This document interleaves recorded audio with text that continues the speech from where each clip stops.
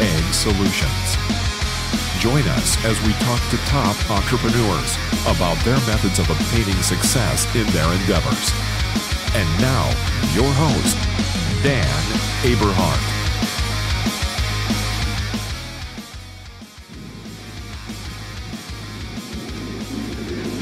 Check one, two, check one, two.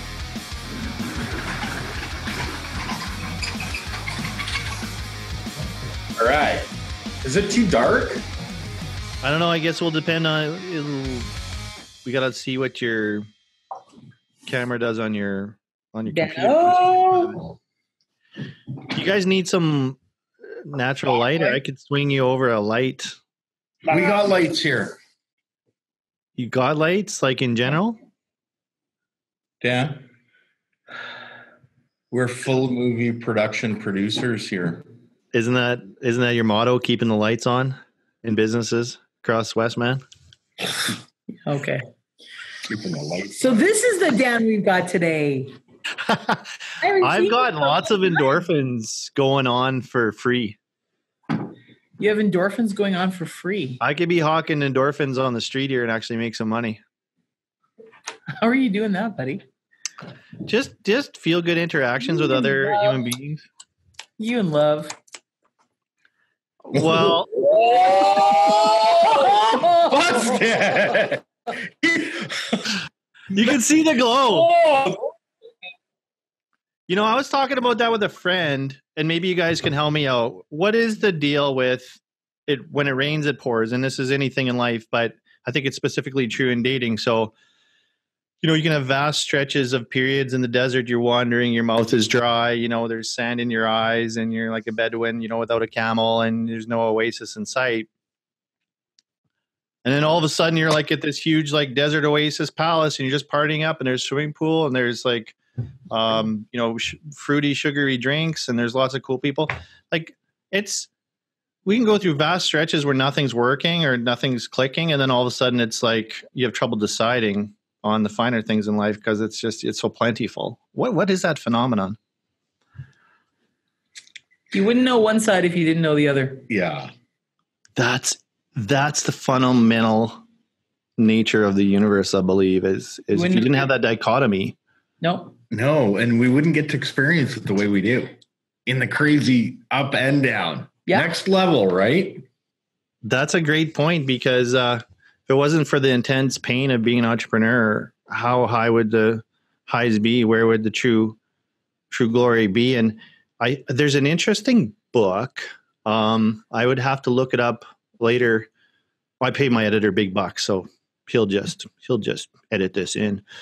But um, there's a really great book. I think it's called Willpower. I probably have it here in my uh, in my vast library. You know, right next to my Lambos in the Read garage. that one.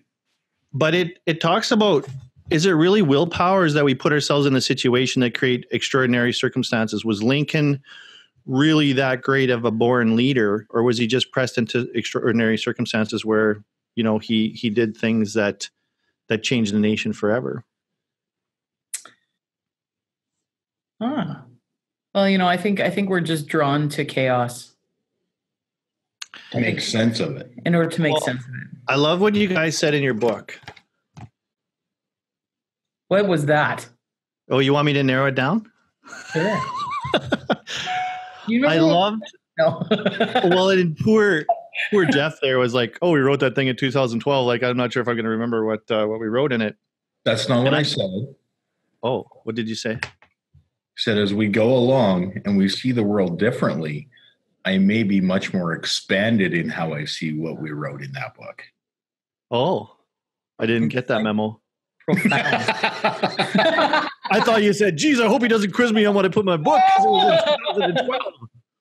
That's how I took it. But oh, I love I love a lot of the ideas in this book, and one of them was is very specific, and I felt like you were talking right to me, which I'm the most important person to me. If we haven't all noticed that by now, but I actually have it starred here. Um, and maybe you guys can like backfill this uh, narrative a little bit once I once I read this out loud. But it's It is at, at those two. No, it is at those points when the physical and mental match that we become bored. Hmm, who does that sound like?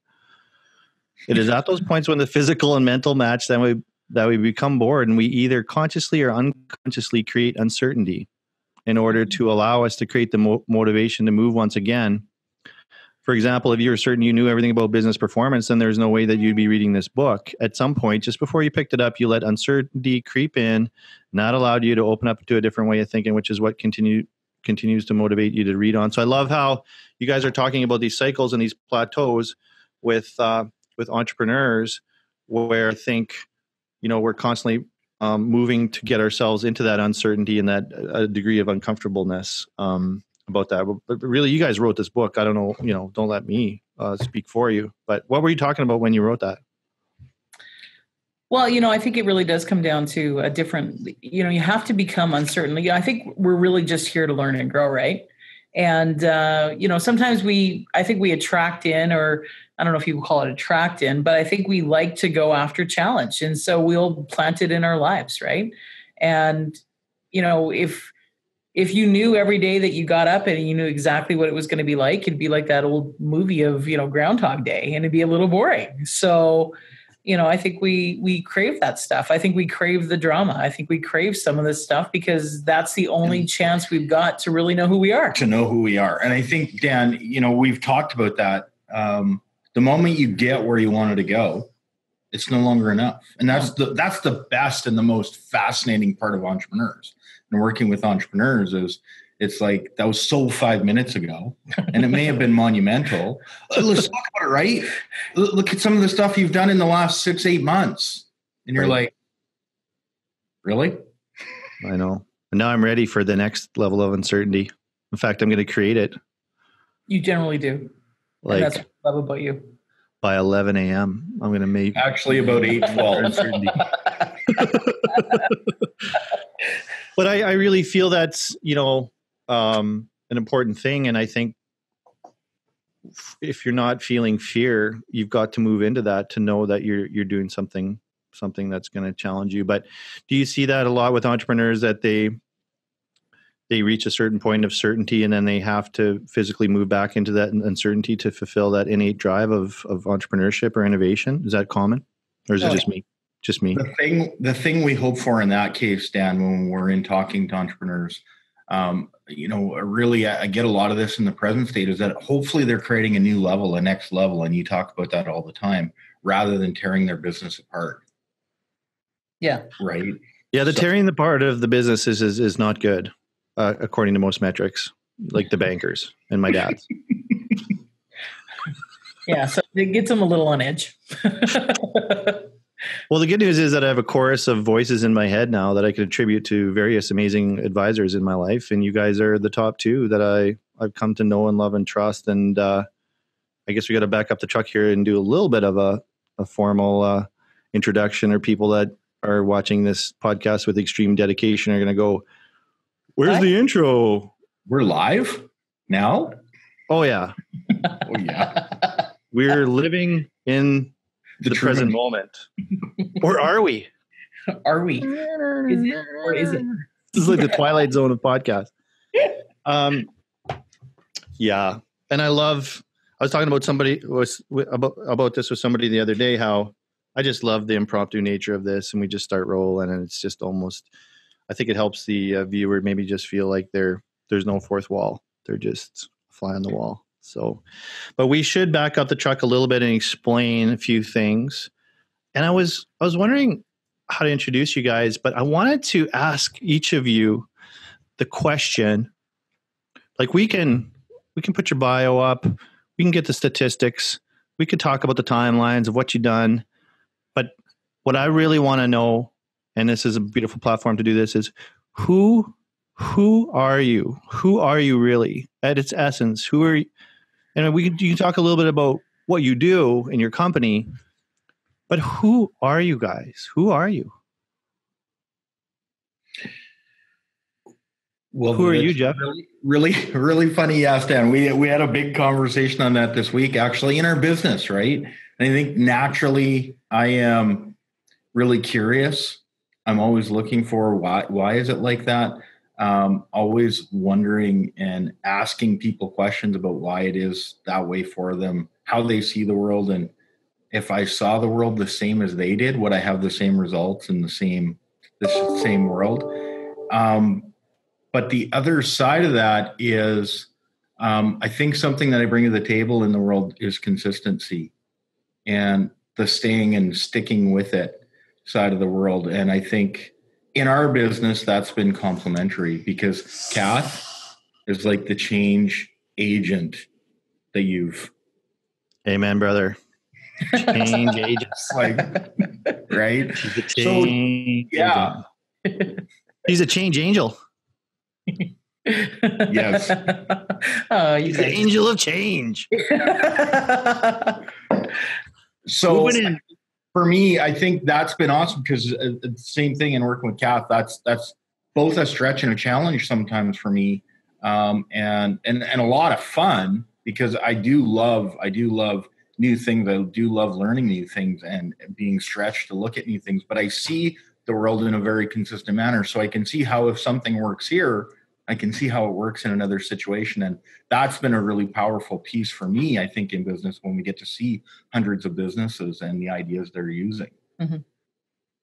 Well, and I think that's the most one of the most powerful pieces we'll talk about today. That what you guys do for for a business is you you provide visibility from the exterior on on where you're at because you cannot see the little from the inside of the bottle. And I love you guys is when you talk about in the book, you talk about being a dry lander it's like, hey, buddy, I'm not getting in the boat with you. I got to stay on the shore here to yell at you to paddle the right yeah. way or get yeah. a shorter or longer paddle or improve your paddle or change out paddles or maybe it's the ergonomic design of the boat. But you talk about not getting into the boat with people. You're the people on the shore directing the, the traffic.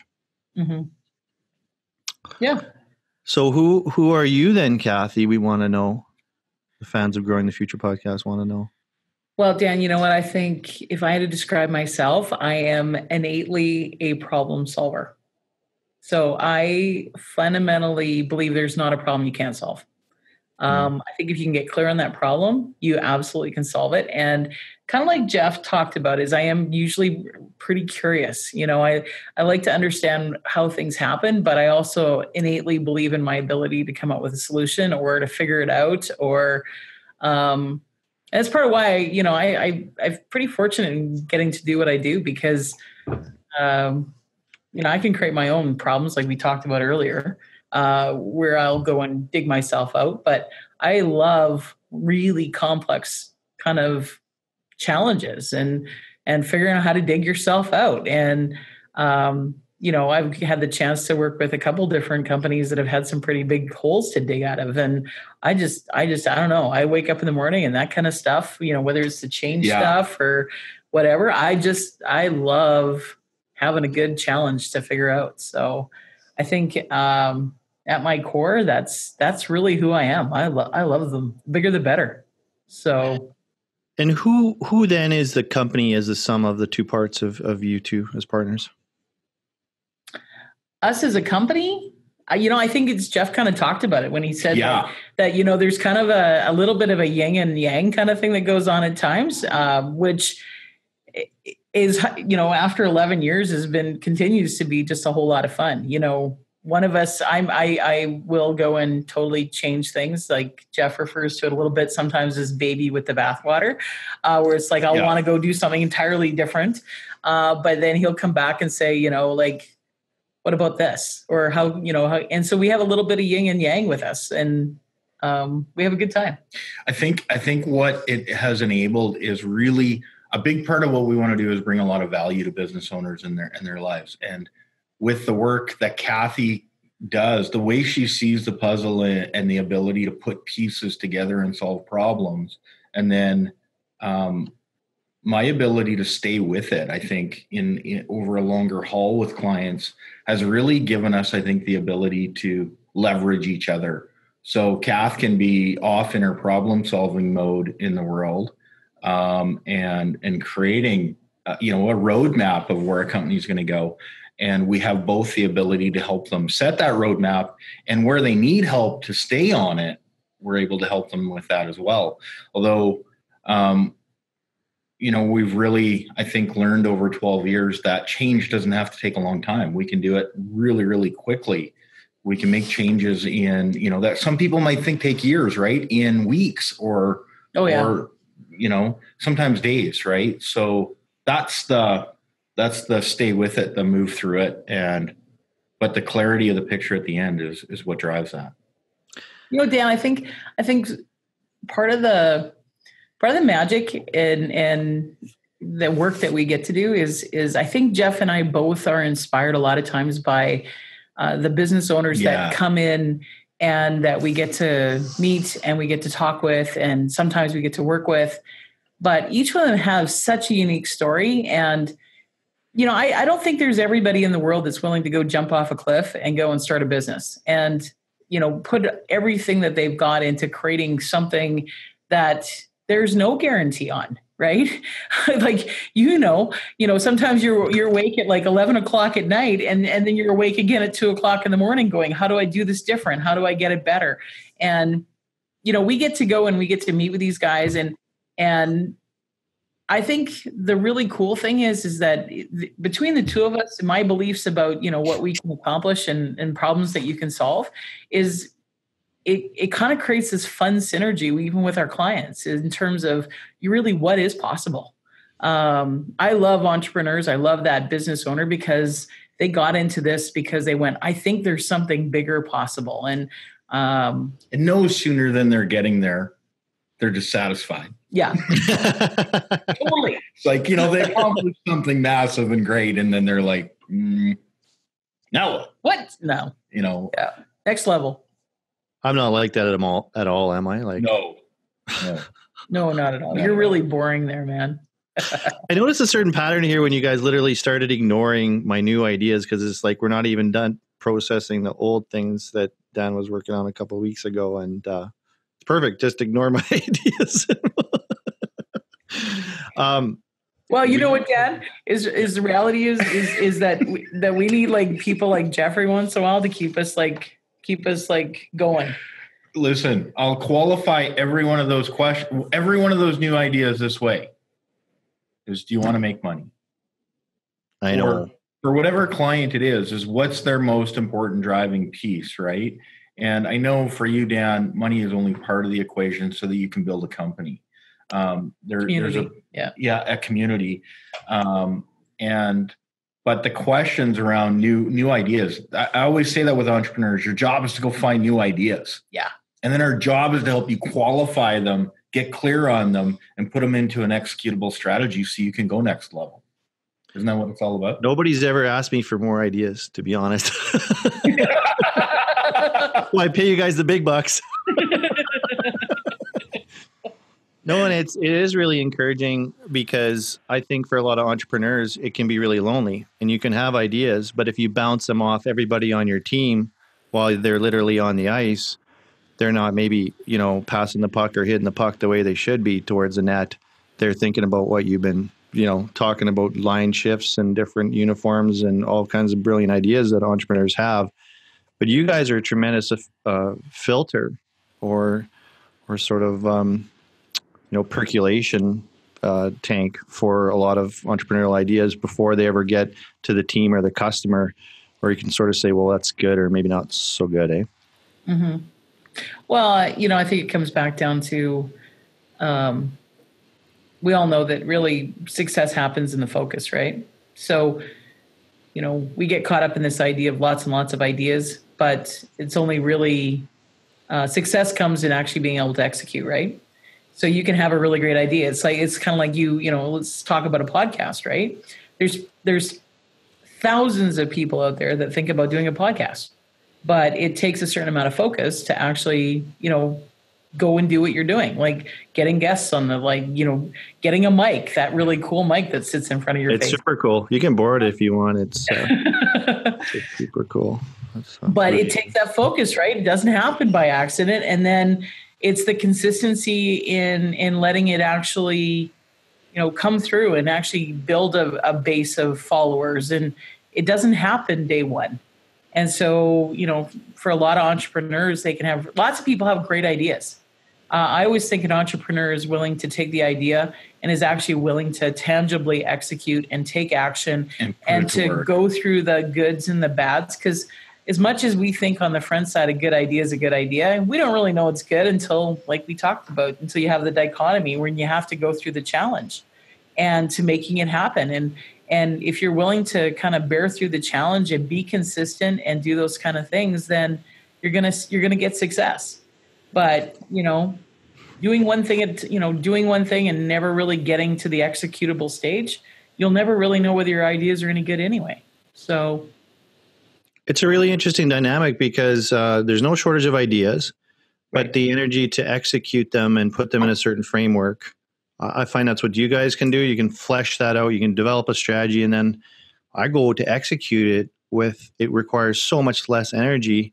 Uh, it just becomes a simple mission that you send me out on as a soldier in my own company. You as the general, you know, uh, if you've got to be the soldier in the mission, it's pretty hard to be the general in the mission as well. Unless you're schizophrenic, then you can be the soldier and the general and the medic, you know, and the president, you know. But I don't have that particular, uh, um, you know, I, I don't know if it's an opportunity or a challenge, but I'm a little schizophrenic at times, little little ADD. But we all are. um, guys, take me back uh, a little bit of your history of working together. Like, how did you form this partnership, and and just take us a little bit through your your work history and the different things that you did, the stuff that worked, that didn't work, and, and to where you got to today with Siere helping all these businesses succeed.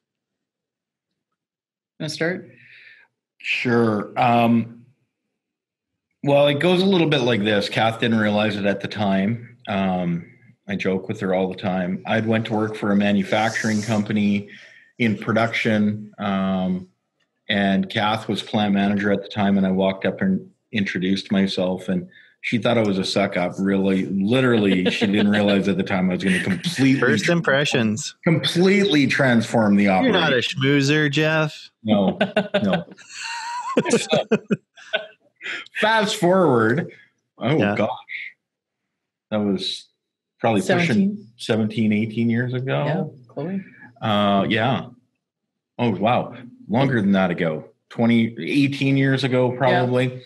So, um, as part of that, I think at the time, as we were both all over the place, we had come or worked in companies that required us to be all over and and working hard and working hard. I mean, putting in lots of hours and having a lot of fun, going through some really cool transitions and changes.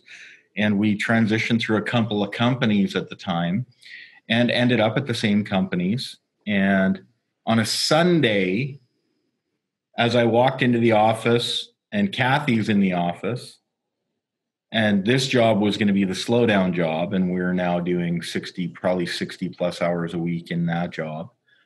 That was a slowdown job. We looked at each other and went, Well, apparently it's not the job.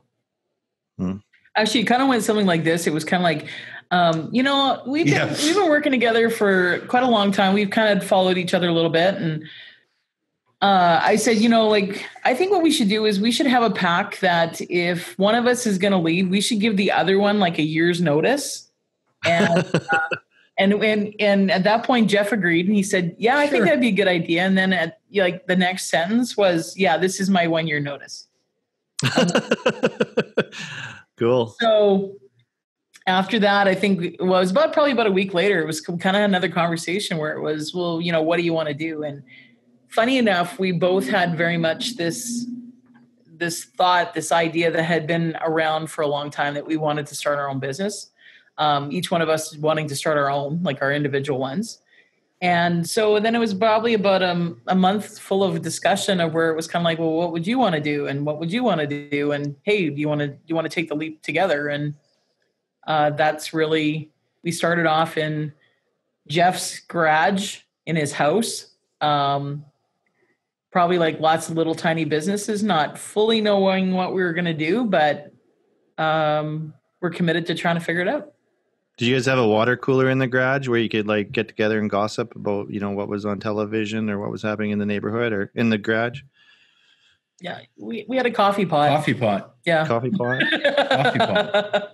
I love your office. I love your office. Um, So it wasn't that long ago that I walked into your office, half a block south of my office, which I never knew knew the land of execution was so close. The kingdom of execution was so close for so long, and um, I kept getting referred to you. Uh, I get lots of good free advice from a lot of people, and one of them, you know, is my first wife. God bless her, Sheila Sheila Gonti, who her and her husband have a a tree cutting business and a construction business here in Brandon. They've been working with you guys for a long time, and every time I bitch about the business, Sheila would say, ah, "Just go see Cathy already." so it was. I remember distinctly, and I'll probably never forget. Um, and cue the piano here because I think it's a poignant moment. But it was around September 11th on my birthday last fall when uh, we had some dramatic changes in the business, mm-hmm. and uh, we weren't sure which train tracks the train was on anymore. And, you know, I was pretty beaten and broken. You know, I, it was, uh, we've had a lot of challenging times in the business. One thing I struggle with is everybody looks at our business on social media and just assumes that we make it look easy. you know, or we, we always highlight the high, you know, the positive things. I think we've all come to understand that uh, about social media, but from the outside, it looks like things are always perfect and always great. But we've had some serious challenges in September we had we had some it was kind of a low point um and i remember walking down you know just praying that you know i was walking down the sidewalk just praying that you would have time. I think my first sentence was like i hope you have time for me because i need your help right right now. Like triage like you know i hope you're half emt half business advisor because i'm bleeding here. You know i was you know but i guess I guess I was just wondering, Cathy, what your first impression was when I walked into your door, and you know, the second part of the question. I'm sure Jeff will jump in at some point.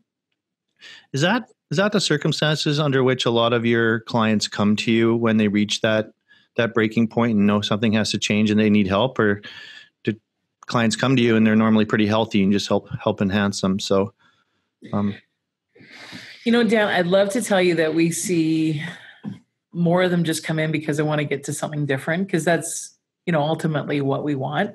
Um, we want to see business owners succeed. We do. But unfortunately uh, it generally is when they have kind of got to the end of their rope. They're not really sure what to do. And um, i think kind of for two reasons. Number one is is innately i think business owners have this mindset that i got to figure it out I got to figure it out on my own. I'm not successful if I don't figure it out on my own. If I just work harder, if I just work longer, uh, there's going to be some magic come around the corner. And so they put a lot of pressure on themselves. A ton of pressure on themselves. And then when something happens, there'll be some pivotal moment, kind of like what you had go on, is all of a sudden it's like they'll open up and go, okay, maybe, maybe, maybe I can, maybe I can look at it a different way. And the thing that I always laugh about Dan is like we have clients that are like five, six, seven, eight years with us and who sit there and go like, I don't know why I waited so long. And we're just stubborn buggers, man. Like people are can sometimes be pretty stubborn. So, you know, the day you came in, um, it was awesome. You know, I yeah. think uh yeah. Oh, I, I want to jump in there because oh, right there, there. right there. What happens is a situation where you come in with a m- massive problem to you, and Kath goes, "Oh, let me at that." he loved it. I was yeah. like, "This woman's so, my angel. Like this is my guardian angel." Yeah. The thing at that point is, um, innately in what we do, and so many opportunities is is, and I and I always trust. I it's a funny thing because I just I look at Cathy at points on these front ends and I go, "What do you think?" And as soon as she goes, "This is what we need to do," I go, "Okay, we got this." Yeah. And there is literally we don't see the problems the same way. We see them as opportunities, and I know Kath does such a good job of that. But there is, I believe, and you could speak to this, Dan, is on that front side when it gets that tough. Quickly, it becomes okay. Maybe it's not that bad Mm. Okay, maybe we can get out of this. Um, here's some of the solutions that are being generated to get out of this. And quickly we start getting momentum and get out of that. And that takes, I think, a ton of pressure off you know the business owner not only in the business but in all other areas of their life and the change becomes and the results become easier and easier and i think the you know like you said you get to generate ideas rather than dealing with issues every day. And i think that's i've gotten to deal more in my unique ability than ever. I think that's been one of the greatest gifts that you guys have brought to our business is um, you're clearing the path. You're recognizing the unique ability and you're clearing the path to make that happen. And that's very important for business owners. And if i could have one good thing come out of this whole podcast with you guys today for for people out there that are struggling in their business and not knowing the way forward um, maybe maybe it's uh, you guys that can help or maybe it's somebody else but you know find find a coach. Find somebody that can help you that's looking in on the situation. Because i think you're right. Most of the time the problem isn't as big as we as we think it is. And yeah we had some big challenges but Cathy your coaching to me was listen it's not going to be easy. You know it's not going to be uh, just a slice of cake or whatever the expression might be but the reality is that it's maybe not as bad as you think it is and and the the thing that i hold in my mind working with you guys is until you guys wave the white flag we're right. charging we're charging oh, we're yeah. charging down the hill yeah. we're we're william wallace down the hill until you yeah. guys wave the white flag right yeah just agree with me you know, uh, absolutely. You know, no. but I think I think you know, and I want to go back to the very first day I met you because I, I think this is really really important point. Is and I and I think this is why we continue to respect what you guys do, um, your whole family does, uh, and what you do with your community is is from day one. There's a level of being authentic. Yeah, and I think whether you know, I don't care who you are. There is not a business owner, and including Jeff and I, who haven't faced tough challenges, who haven't necessarily been certain which way to go or what to do. Uh, there's no nice magic recipe book. And, you know, day one, you walked in here and you said, you know what, I got a big problem and I don't really know how big a problem it is. Um, I, I, I, know that I, I can't solve it. Um, I'm really hoping that you can help me, but uh, I'm going to solve this and I have a lot riding on this and I'm willing to do what it's going to take to make it work. And, uh, you know, right from day one, I think it's not about put, you know, I think it's, I think it's too easy to put on this, like, it's going to all be okay. It's going to be this, it's going to be something and, and not, and to kind of, in fact, lie to yourself. And I think, when we get those situations yeah. with business owners where they come in and it doesn't matter. Like it doesn't mean to me you know pro, and you read it in the book i believe problems and opportunities are structured exactly the same way. So you know a lot of times like i said people come in with a problem but i you know i hope they also come in and look for the opportunities as well because they are structured exactly the same way. And um, when they're authentic about what they want to achieve or what they want to get away from, then it's pretty simple to solve it. But is that the first step? Is getting authentic and and and accepting where you're at? Yeah, I think so. You know, uh, I know Jeff talked about it at yeah. the uh, Trusted Applicator Summit.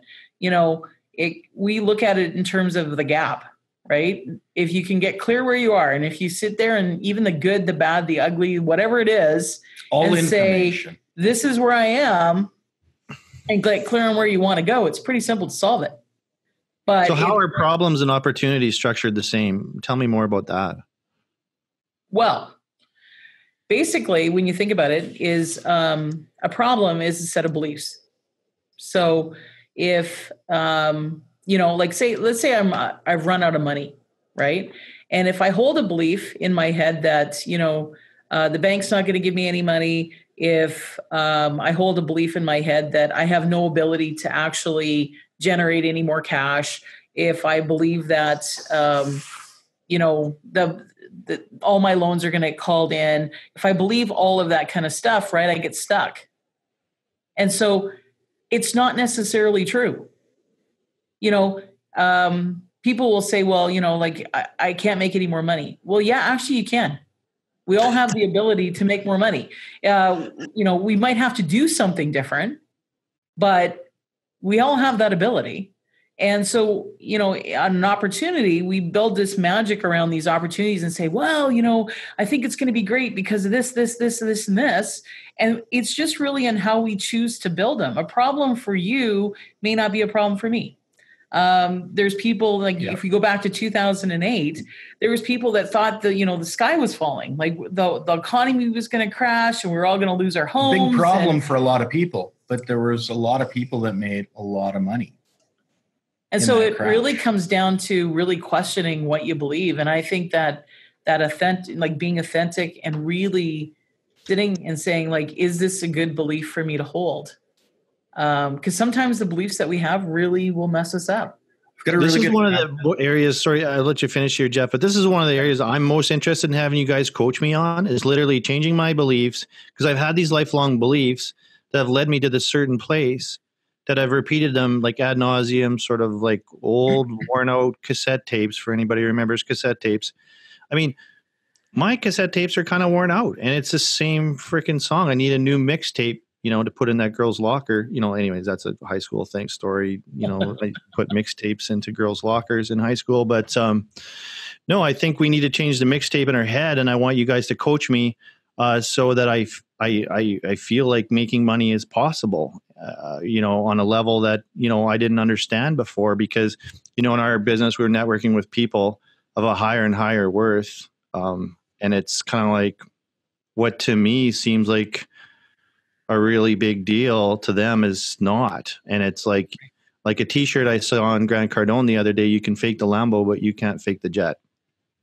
So I mean, you guys are helping me think of what's what's possible. And I think that's happening every day in that down. And that comes in asking the right questions. It really comes in asking the right questions. So, um, you know, anytime someone's in a present state, of where they are and they want to change it. Um, the the example I had ye- uh, yesterday, most recent example with a client.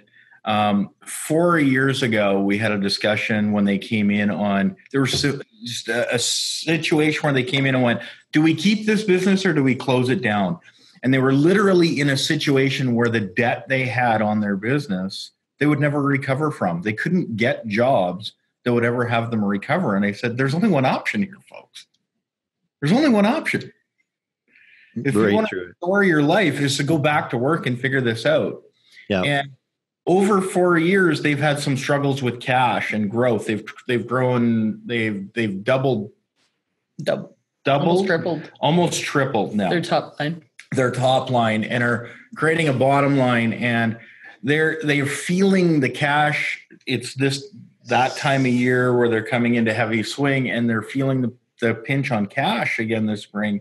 And when we looked at their year over year debt to equity ratios, they're finally whole. I looked at them yesterday and said, You can sell your business today and have money. went, Why would we do that? And yeah. I went, Exactly.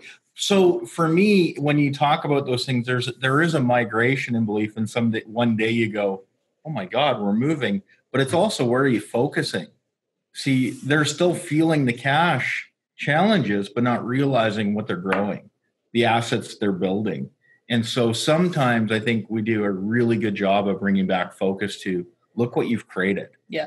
Look what's happening. And from that comes massive momentum. And, and, when you have massive momentum, it opens up your thinking, Dan, you call a blue sky.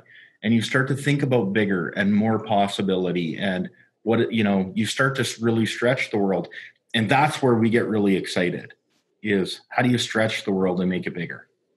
Well, I think there's a certain cycle there, and you probably probably see it from the day somebody darkens your door to Q1 or Q2 or year two results, where you can say, "Hey, we're now proving you a cycle of success here. Mm-hmm. Are you ready to believe me on the next thing?" Yeah, and I think sometimes, um, you know, when you talked about the when we talked about the belief, I think you also have to understand whether the behavior is matching the belief. Mm-hmm. Yeah. Because I think it's really simple to talk a belief.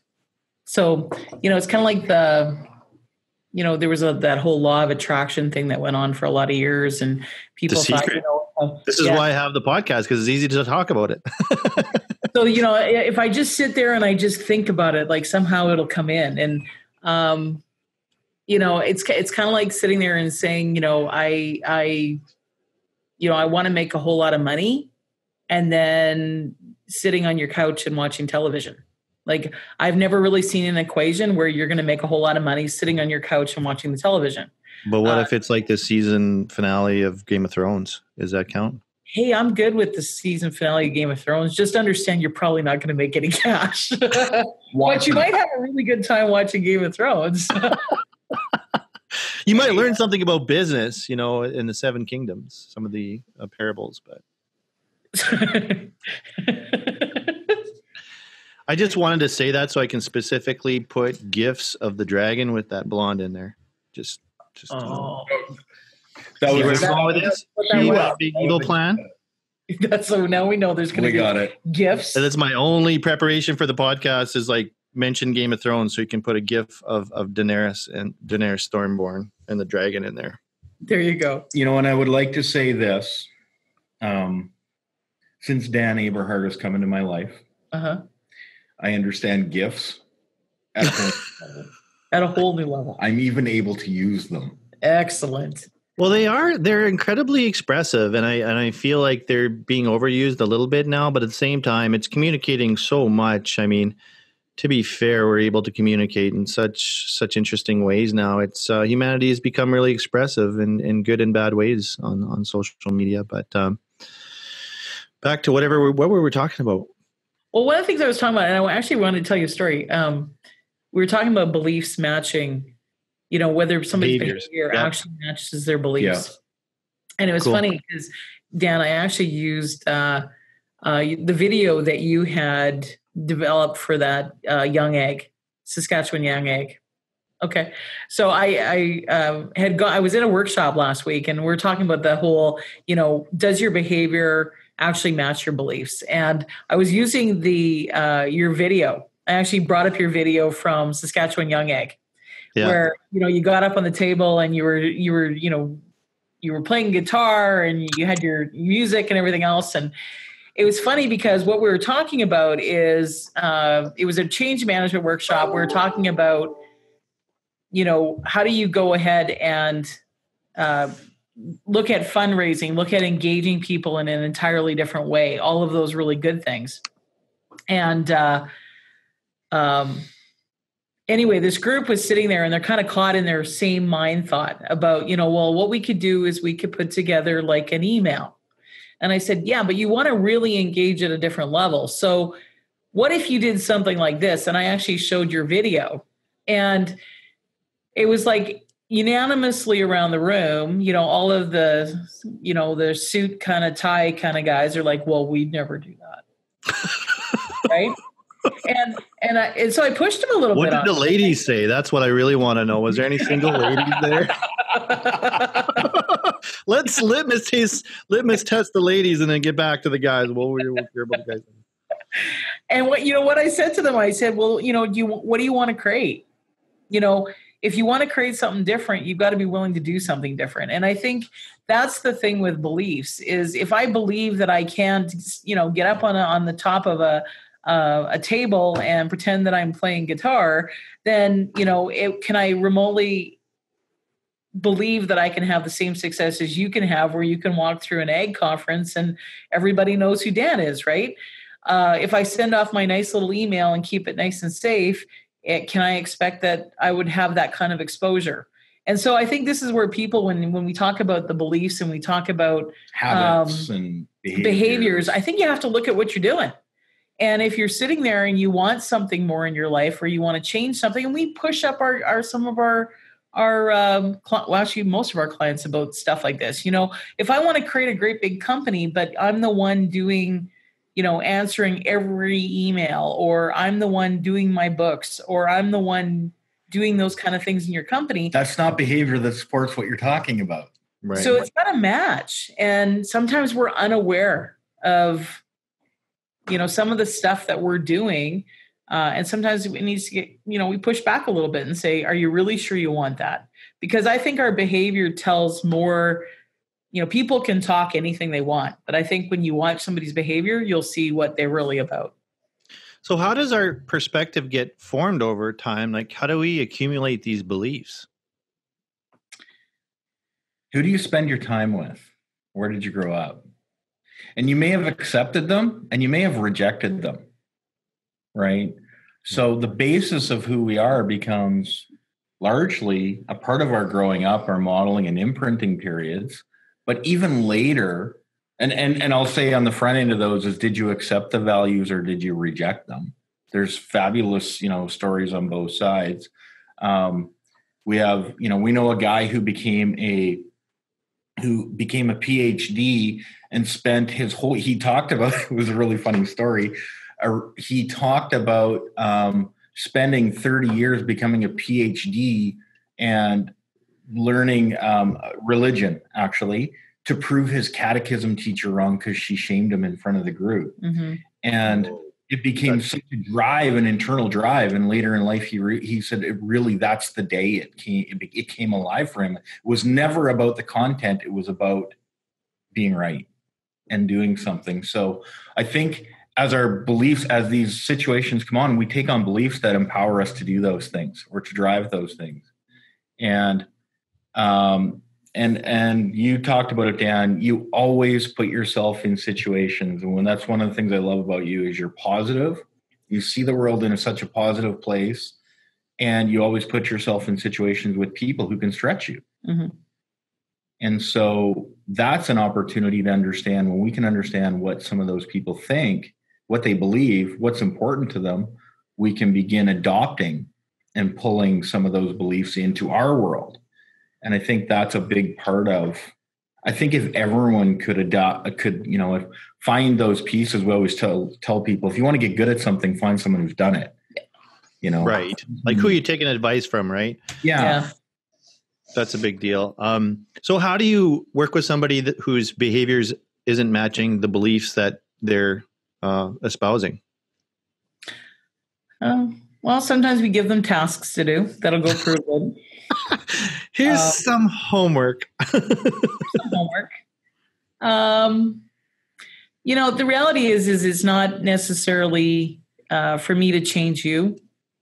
Uh, I don't believe that I can change anyone, but I sometimes I think we're unaware of maybe the behavior we're doing and why. Mm-hmm. You know, mm-hmm. sometimes, uh, you know, I'm going to give you a story. Is um, I had a business owner uh, this couple years ago. He he wanted to he really wanted to take his business to the next level. I know it sounds a little cliche, but he really wanted to double his business, and uh, he continued working in the field.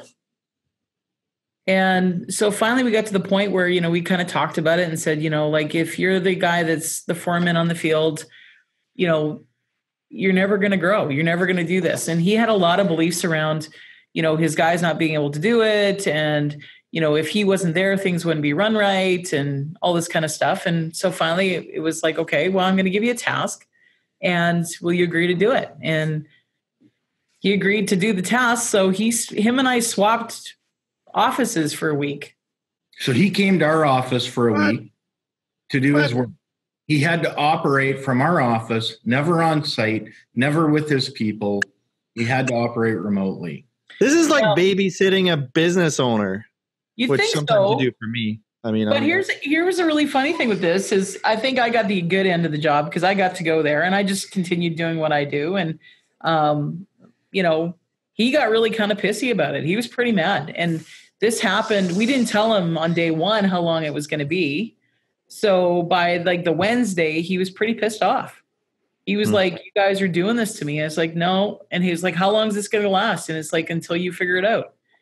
And he literally went through a temper tantrum for like about four days.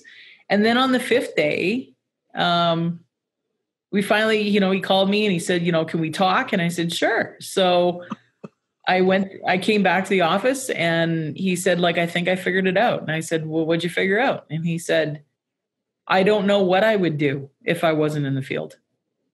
I don't know how to go and generate more business. I don't know how to go talk to the bankers. I don't know how to I'm afraid that, you know, I won't be successful. I'm afraid that if they don't need me, then I don't know what I am in this business. And that was when we had a really honest conversation because before that, you know, we're solving his foreman problem. He didn't have a foreman problem He had great foremen. He had great guys out there in the field that absolutely knew what they were doing. But this guy had to admit that he didn't know what to do. So He that was his didn't- he- excuse, right? That was his excuse Yeah. for not matching his behavior to what his beliefs were, or what he wanted. Yeah, and it's just it's just it's not it's not he's not a bad guy but sometimes that's the stuff that's about getting honest and sitting there and saying like really i don't know how to do this And the best part of that story, Dan, is fast forward. I- What's that about five, six years now? yeah at least and um, that he's tripled that company. He's got four main divisions with general managers in the divisions, and he lives in another country in the winter for a good portion of the winter. so he got out of timeout, is what you're Yeah. saying. he got out of timeout He got he, he literally got out of timeout. Are you You going to got put me in timeout if I don't behave? yeah, I I might I feel like we've had a few timeout moments. really no It's true. It's true. it's true. I love it. I love the passion, and I I think it's important too that a business owner has someone that's blunt and courageous enough to stand up. Like I was just thinking about your level of courage, Cathy, which I know is boundless. right? I mean, i get to at least yeah. fucking Game of Thrones. Now, okay. if you were talking Game of Thrones, you'd be like one of those queens ready to take over the seven kingdoms, you know, on the back of a dragon. But i think you guys are too nice on that one you listen one of the one of the uh, one of the important things that we've always looked for, the shareholders always wanted, was someone so, or somebody or a team of people that would stand up to me. And I and I don't know sometimes how forceful I get just through projection of of my my desires to move the business forward and my my passion and it's pretty hard for a lot of people to contradict that because I'm just like on fire about it, but I might be going totally in the wrong direction. At least you guys can say, "Hey, like, look, uh, yeah." And, and I, I guess I'm thinking of a lot of people in the farming community, um, because there's just it's got to be such a challenge. It's got to be such a lonely thing to be out there making decisions in the face of like they got a million decisions to make it's really hard to take a step back and, and understand where you're at. I think you hit the nail on the head. Like if if a farmer's sort of having an issue with something in his business, I mean, is it really the problem that he thinks? Or is it just that's- that you know, in this case the business owner was actually afraid of of doing a number of things. But I, I'm also curious about this business owner. Like, how did he get to the other side of that? Like, did he just well, I guess once he recognized the the actual issue wasn't his foreman, it was his fear of handling those higher functioning duties. Was he able to confront that and deal with it because he became self aware enough? Well, that's the stuff we went and worked on. You know, once he once he could sit there and say, "I don't know how to talk to a banker," we were able to sit there and work on the stuff that would help him feel um, the level of confidence to be able to go in and talk to his banker. Uh, once he said, "You know, I, I don't know what kind of business I want to work on," up until that point, we were working on you know stuff that really didn't matter because it was never the problem. And I think when we t- when I talked a little bit about the um, problems and opportunities are structured the same way you know in a moment he can we can think that a problem like i don't know how to talk to a banker is a big problem but in reality it's the biggest opportunity is if you can Right. go and actually confront that if you can figure out what you need to learn and it's not like it's that difficult but you know if i ignore it and i don't actually get clear on where i am today i can wish all day long that i want to get to this better future but the niggling doubts will hold you back. yeah and like Yeah. spinning plates and um, you know you know spinning plates they suck the energy out of you at night oh yeah or whenever that might be right Right. you can you can bury them you can cover them you talk about social media social media is a wonderful place for people to see all the best stuff in the world Yeah. that's going on um, and you talked about it for you even Dan you know there's stuff behind the veil and although I, I that's funny you say that i see you as a pretty you're a pretty authentic heart on your sleeve guy Yeah. I'm the oversharing. I'm the quintessential oversharing CEO, and I know you guys are trying to coach me out of that. But uh, I just love We'll sharing. Sharing is you out of caring. being Okay. we'll never coach you out of being you No, Yeah. but I think it is a little bit of a challenge too at times because, uh, you know, being, I think the problem with the leader is 70% of the time, this is statistically accurate, like incredibly accurate. They actually use a quantum computer to generate that statistic. Seventy percent of the time, leaders don't know have a a clue what's going on on the rest of their team's head, and vice versa. So, you know, I can come out with a really big idea, but you know, but I'm just verbalizing it out loud. That's why I love this podcast because I get to verbalize everything out loud and and talk. I just I love. I'd almost rather have a conversation with you guys than read your book. I love reading your book, but having a conversation about it to me is really natural and, and functional. Um, but I think the challenge is for the team.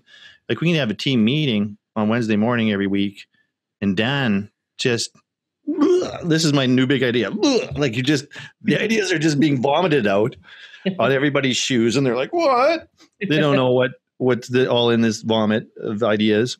And I will have feel, you know, I feel really like, you know, again, great, like plenty of endorphins because I've got my ideas across. But everybody's like, "Are we doing this? Is this a new thing? Is this a maybe? Are we going?" Like it just creates so confusion.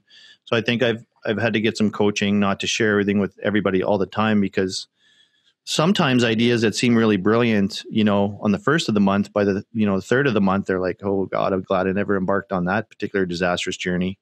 Right. but you guys help me um, cycle that through that. So one th- bone I have to pick with you guys, though, and I've always been meaning to have this conversation. So now we can have it live on the internet. But like, I heard about this like three day in depth seminar that you had that Sheila and John went to for neuro linguistic programming. And I never got it. You never and got I might be like, you know, tapping and thinking of the ocean and like cycling through my spirit animal here while I like take on almost, you know, epic superpowers in business. What is this course? I want this course. Tell me about you guys have a little bit of a journey in NLP. Yeah, we um that's gonna be like eight years ago. Both Jeff and I became certified uh, trainers in NLP. And we have from time to time, and I'm going to say from time to time, ran various configurations of a training course. It really about building, um, it, it's actually a lot of beliefs mm-hmm. a lot about beliefs, a lot about values, a lot about where you're going, building your compelling future, and destroying those things that are in front of you. And every once in a while, it comes together and rears up and um, so what is nlp like i want this course. I can't believe you guys been withholding this from me. I feel robbed.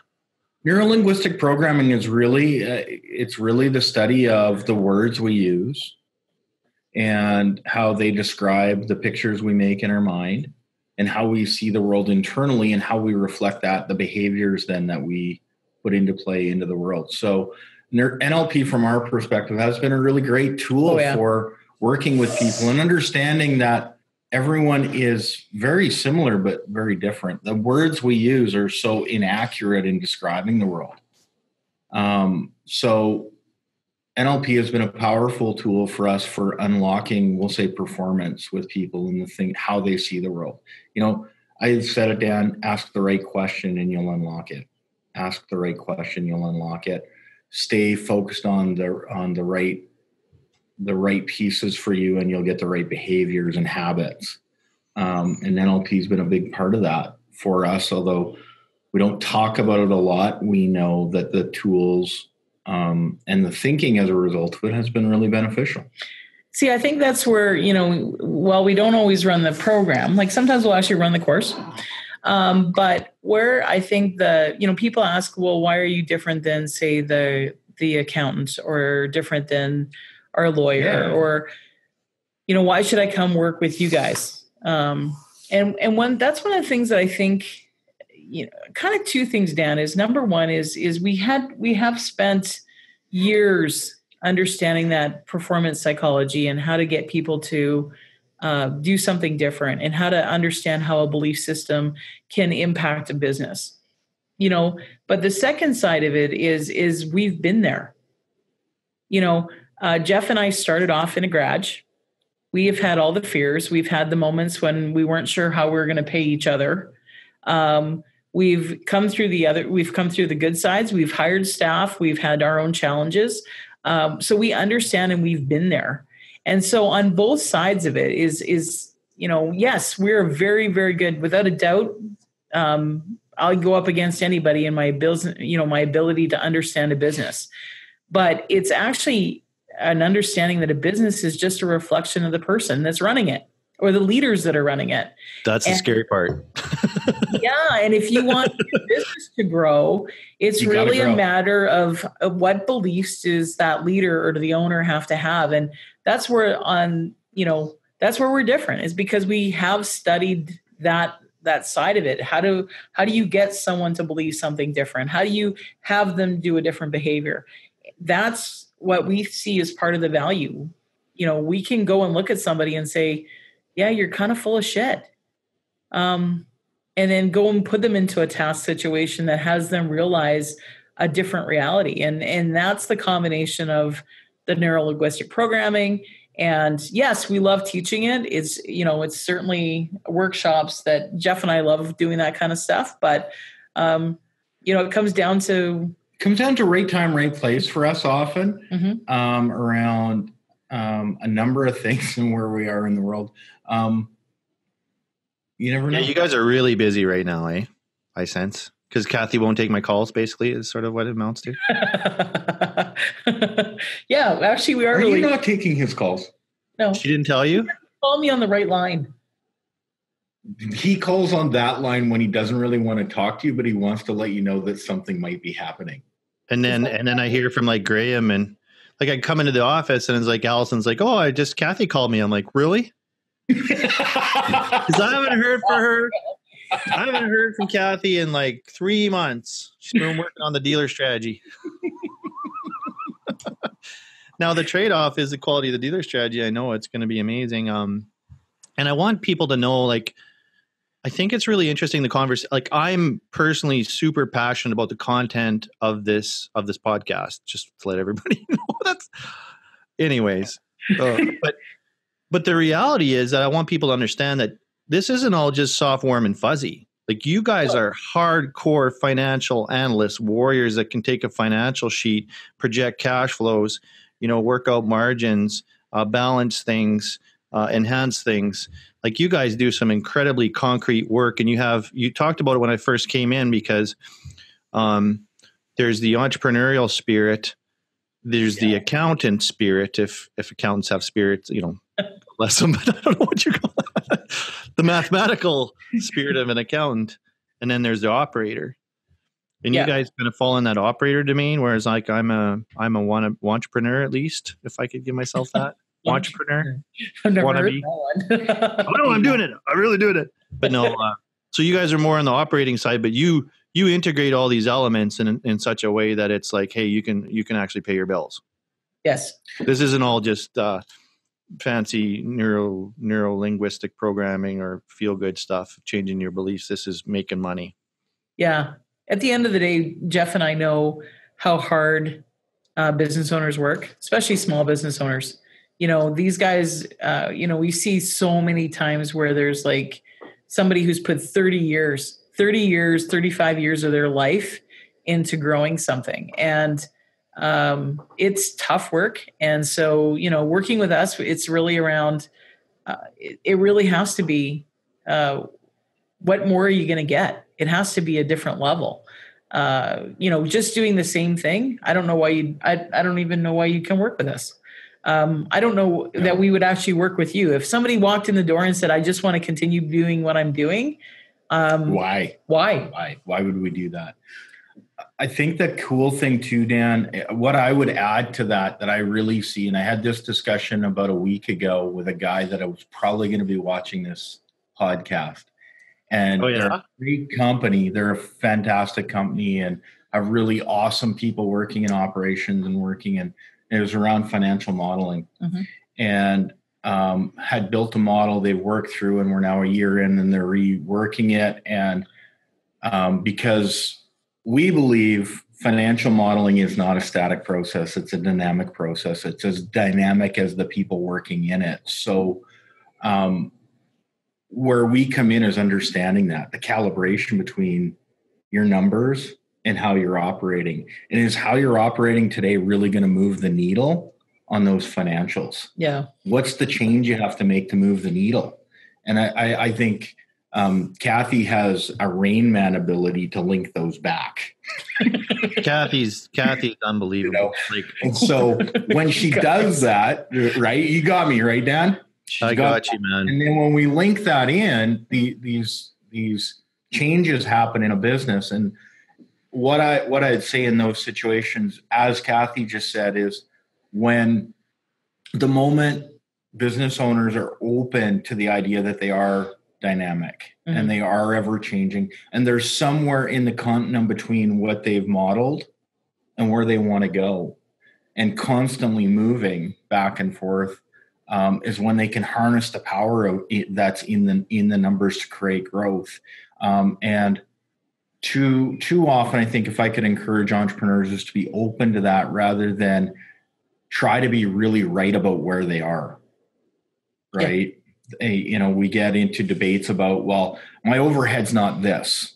Well does it really matter? It is. Yeah. And move forward right? And i and i think uh, that's although one of the powers of an entrepreneur is to be really solid about their ideas um, we're saying be solid but yet be dynamic enough to be able to look at the things around you and and trust the really good people around you to tell you operationally how is this working? And how does that match into my numbers? Well it was really funny because i had a huge, huge moment of self-doubt at the sask young ag conference when at Al-Katib who's world entrepreneur. Uh, he was uh, entrepreneur of the year of the world uh, forget which year, but I mean, they got like a three billion dollar business, and he he said beyond all the really cool Winston Churchill quotes he gave, and I really enjoyed his presentation, he said one of the most important things that you got to have in business is financial acumen. And this is mm-hmm. right before I was going on speaking. I'm like, I'm sunk. like I was, I was like, oh, I shouldn't even be in business. Why am I presenting to these people? Like, can't fight my way out of a wet paper financial statement. But uh, then, you know, in moments of, of darkness and doubt, um, my my uh, sword that I pull out of the stone is you guys, and I just really feel strongly that um, my my confidence and my courage going forward is warranted because until we wave the white flag, we're charging. I really, I really like that, and uh, I it's kind of like you know if you got fitness or you got faith, you got health, you got wealth. What happens? You want to share that with people Right. Yeah. And what I'd like to share with people is that you don't have to be alone and that there are people out there like yourselves like the ROI that we've gotten on you guys almost instantaneously is like instant noodles. Like nuke it for 3 minutes and just it's so good. I love instant noodles. But you know, it was pretty instant, right? Yeah. And then there's also like there's the instant noodles, but there's like the finely prepared seven course meal at the end of the year when it's like, okay, we've actually moved the needle on our company. So it's it's a combination of uh, immediate triage and long term treatment. And once for us, I feel like okay, once we get out of like we stop the bleeding, you know, we we triage the the issue, we got clear about what the issue was. Mm-hmm. You know, we're back to health, uh, which I think was you know nobody's ever really going to know it other than if they watch this full podcast, which is going to be four hours long by the time we're done talking. But it was, you know, an exceptional challenge and, and lots that we overcome. But now we're at that point where I believe, and correct me if I'm wrong, um, we're at a state of health, you know, moving towards a state of health. And now we can start being preventative, like exercising, sleeping well, eating right, taking vitamins, you know, meditating, whatever it is we want to do to improve. Because when you're in crisis mode, you're just you're just in crisis mode. You're just you're just it's fight or flight, baby. That's a hard place. And you probably see a lot of business owners come to you like that and and uh, hopefully as you work with them they get out of that but you must see a lot of business owners in crisis mode and, and how does that look to you looking in on business owners in crisis mode i think they they're more worried about what we think than what we're worried about the situation you know um, like i said you know we've been there uh, we've been through those tough moments and uh, you know, as far as I'm concerned, they're just it's just it's, it's just something to work through. It's just part of the journey, right? And you know, Dan, one of the things I do want to say that I think you know you and Terry and Harvey have done such a yeah. great job of is um, a couple things. Number one is I think you guys embrace uh, advisors. Um, you know, whether it's Jeff and I or whether it's your advisor teams or whatever, is uh, you know, you guys hold a belief that uh, you'll move your businesses or your organization based on the collective thoughts of many. And it's not like you listen to every one of us every time. You know, sometimes uh, even the advisors can be in disagreement about what the next step is. But it's, you know, I think too many times it's easy to get caught up in the four walls of the business that you're running or the cab of the truck that you're in or whatever and and not get out not not to go and expand what you're thinking. And i'm going to tell you um, i'm not sure if it's Dean Graziosi or who said but it's you know information in is is the information that you have coming into your system is going to be a reflection of the information of what's the output. And if you know you're sitting in the same four walls trying to solve the problem the same old way you're going to have the same old result. Right. And you know you guys have uh, you know not only do you engage advisors in your business in terms of growing it but you actually engage an advisor team to look and to push you. And you listen to what they say and sometimes you don't like what they say um, but you know those advisors are there because they want to see you succeed. And I think sometimes we need to have those critics around us a little bit that that push us and and kind of get us a little grumpy uh, because. Uh, especially because they're there because they're they're they're there to see you guys succeed and and I think that's such a valuable tool and sometimes it's tough to be open and I think you know you as I said you guys have are continuing to build a bigger vision uh, when you have, you know, we went to the Trusted Applicator Summit and got to see the network of people that you're building. And amazing you know, people. I looked at a lot of those guys that were sitting in the audience, and the potential in that room was just crazy. Um, you know, each one of them have you know they're they're going out and you know call it you know biosol nation and and i think that's such a cool thing but you know each one of those guys have so much potential to take their business to take you know their whether they're applicators or dealers to really go and do some like amazing things. And and that's why I love some of the you know some of the vision that you and Terry and Harvey have around you know feeding the feeding the world. And you know all of that kind of stuff is is I think there's so many opportunities uh, for everyone to to really be a part of that. And you know, I commend you guys for that because it's it's it would be a whole lot easier just to sit and do the same thing. And that you know you wouldn't have to be on the road as many days as you have to be. And and i i you know you wouldn't have to go and take time away from your daughter and all those other kind of things. Uh you know you guys all work really really hard and and, and for that yeah we commend you guys. Absolutely. I, I you'd say even on top of that dan i want to add when Cathy talks about the advisors, I do see that in you guys. Your advisory board, I think, was great. I, I got to have the great opportunity to meet with you guys and your advisory board. And one of the things that stuck with me is 14 months ago, the conversation that Larry Hillworth had with you. right. And Larry, you're amazing. Larry, but we love you. Yes. It, it, put a fire. Oh, happy in, birthday, Larry. Yeah, Larry. I saw that. Yeah. Happy birthday, Larry. I got to reach out to Larry. I want him to speak yeah. at uh, Farm Forum and, and maybe come on the podcast and stuff. But yeah, um, continue put on. fire in your heart, Dan. He What's told that? you the truth. He put a fire under you. He mm-hmm. told you the truth about the state of your company and not all from an it's not all an operation standpoint. It's part of the cycle of a business in terms of growth. Some of the right. challenges you went through are the same as any other business owner would go through. And when you get to be around people that have been there before, they can point those out to you and go, listen, if you don't fix this, it could hurt you. Yeah. it could kill you. Um, mm-hmm. You could get the flu from it. And I think that's really a powerful piece. And I, I do commend you guys on that. And even from the work we're doing with you guys, um, some of the, you know, the tremendous experience and that you guys have from your advisory board is a big part of this company and is really moving the needle for you guys. Yeah, I appreciate that. And I think we should just spell that out a little bit and talk about the nuts and bolts of what we do have in this company because we're extremely fortunate.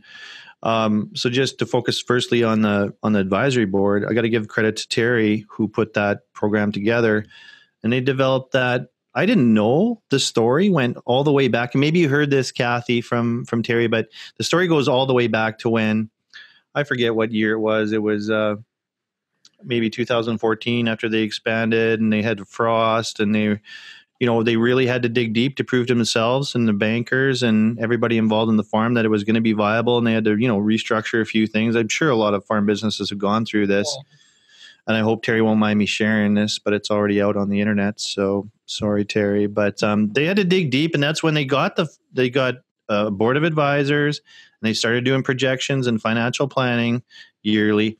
And um, so Terry was really experienced when it came to advisory boards, and he encouraged me to get one, but I wasn't comfortable enough to do it myself. I found it really hard. I mean, I did not have the courage to go and ask these, you know, really accomplished business people to be.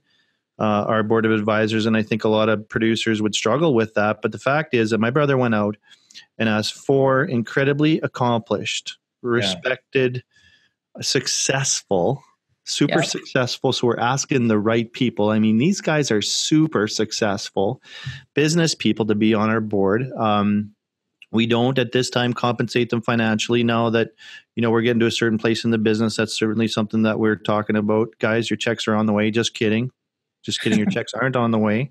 But I sent you a book.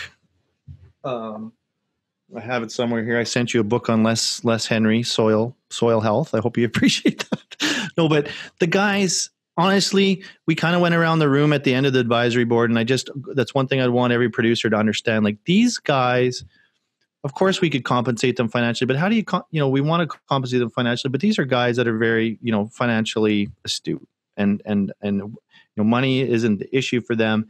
I think they get a lot of value out of being part of a new company that's growing and giving back and networking with each other. You saw some of the the banter that was going back and forth amongst these guys like oh you know this guy? Or you're working on that? Or i'm consulting for this? Or oh you know they're making new connections. And it's exciting for them to be a part of but um, jeff you were down at the meeting. Cathy we zoomed you in just like we're doing now.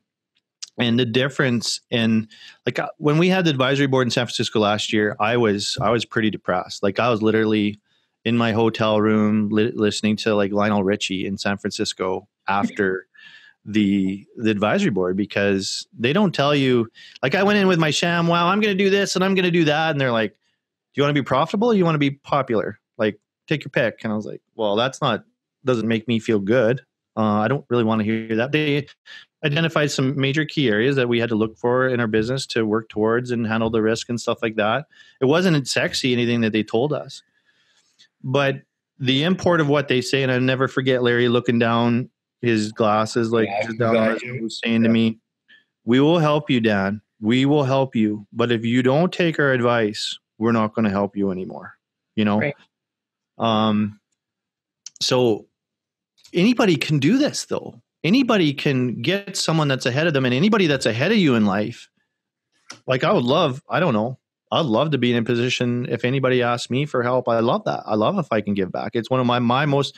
I'm probably less motivated by money than if somebody called me and said, "I need your opinion on this." I'd be like, "My opinion," you know.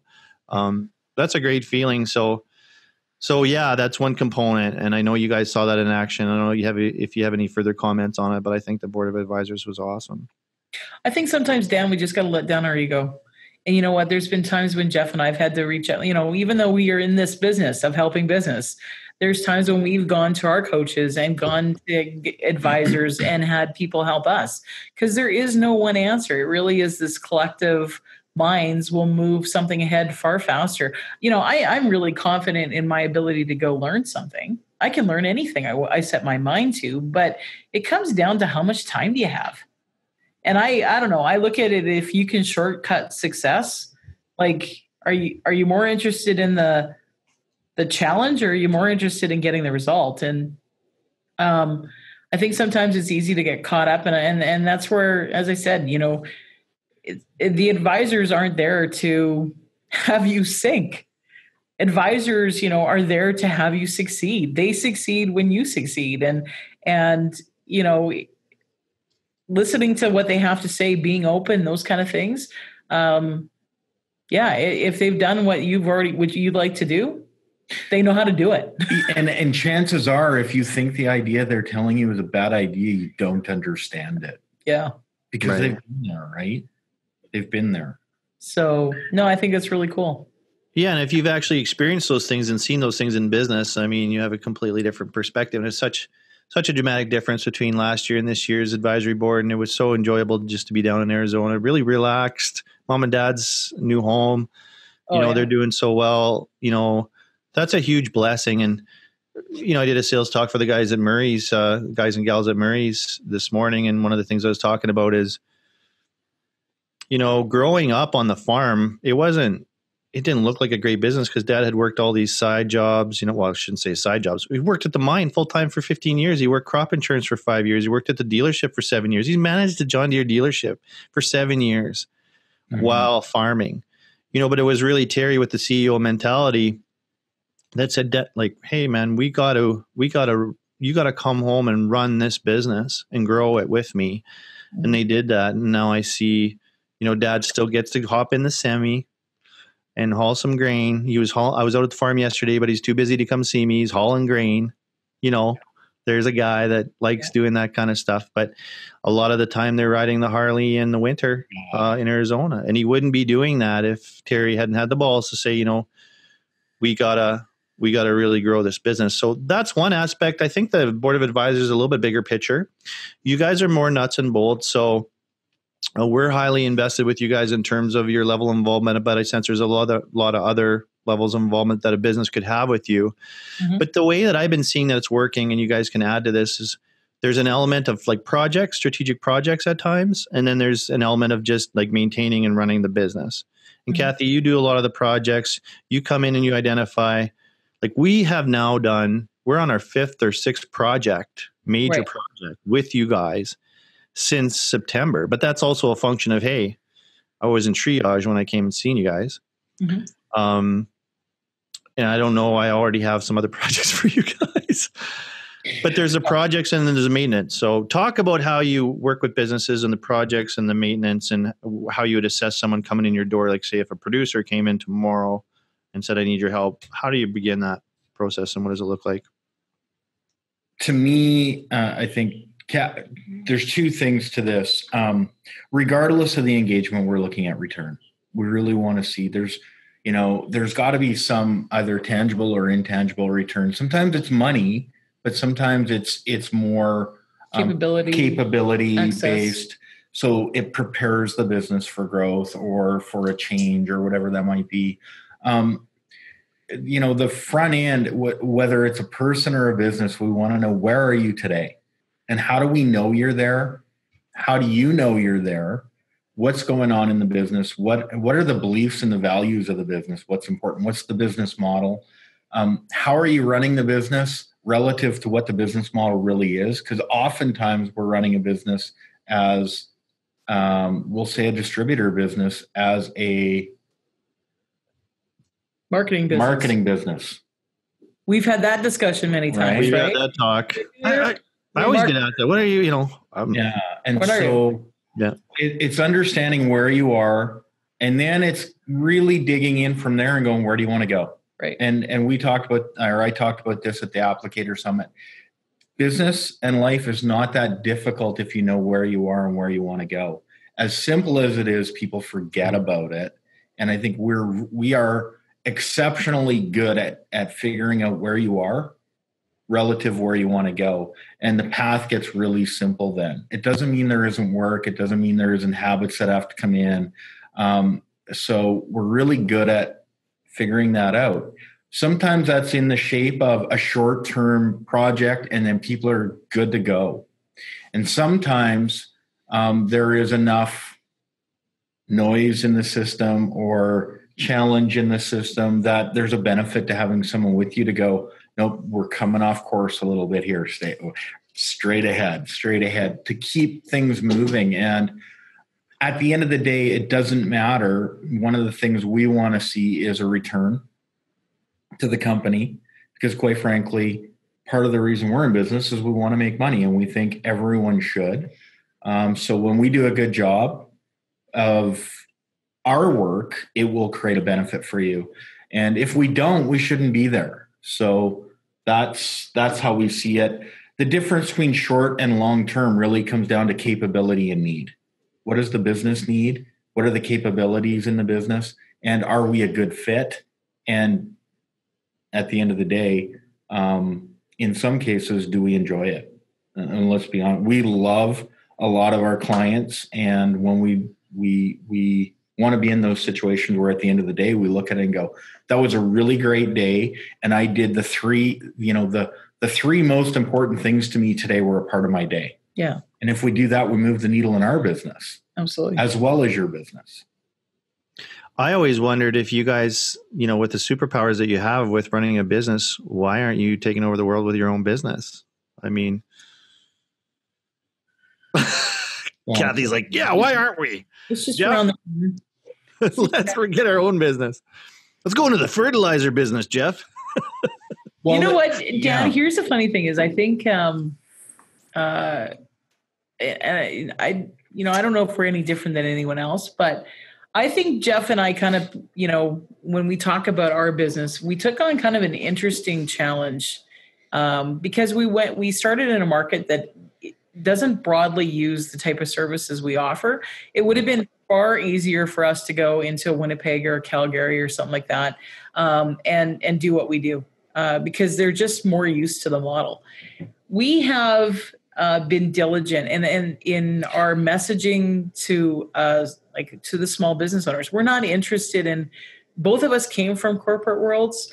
Both of us um, understand that it would be a far easier. You know, I did a I did a three day workshop last week uh, for Ducks Unlimited, and uh, that's an easy sell, you know.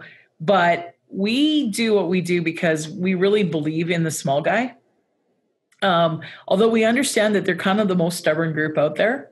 Uh, um, but we know that there's so much potential with uh, small business owners to really to be able to get their business to another level and it's not necessary what we do isn't something that's really mainstream yet. Uh, although you know getting the chance to work with you know people like yourself uh, you know sheila and john we've just got a whole ton of them. And and over 11 years you know jeff and i are running pretty full out these days and are going to continue to expand. But we were we so believed in the market that we wanted to go after. And uh, maybe we're just stubborn and i and i, I as any entrepreneur as any is. entrepreneur but um we believe in communities we believe in business we believe business is the backbone small business is the backbone of the prairies and western canada and even eastern canada yeah um, Well, we can get down on ourselves, but the reality is, you go to the Brandon Chamber of Commerce uh, event. There's a lot of amazing people working really hard in all kinds of businesses here, right in Westman. Oh yeah I think sometimes we shortchange ourselves, but you make a good point. Um, I don't think the thinking about coaching is where it's going to be in the future. I think coaching is going to get a lot bigger because I think we've got this conundrum in life, right? Like if we go to the store and there's 15 jars of jam, it's very hard to narrow that jam down. And you just might leave the store having Yeah. felt confused and frustrated that you couldn't narrow down your decision on a jam. Now, if you got four or five jams to choose from, you know, and you've done some research on the internet, and uh, you know, as long as it's organic, um, it's gluten free, and it doesn't have any GMOs in it, you can get that you can get that particular jam. But Right. um, sometimes, if you can just be presented to the one big jam at the Costco store that this is the way it is, and simplifying and clarifying it, people can move forward with that jam and have jam for a long time and not have to go back to the store. That's how I see your services as clarifying what what jam to buy if that makes any sense at all to anybody out there. Um, i have no idea but it sounded cool. And it probably makes a great gif which is half of what this podcast is about. At least 50% gifts i know i'm doing something right. In the editing process jam gift. jam give big jam big jam costco. It's all good but how coachable am i on a scale of 1 to 10 guys? Ooh. dan? Boom here's what i know about you oh it's not a number that's a Yeah, political no, no, no, i'm gonna get there i'm gonna get there.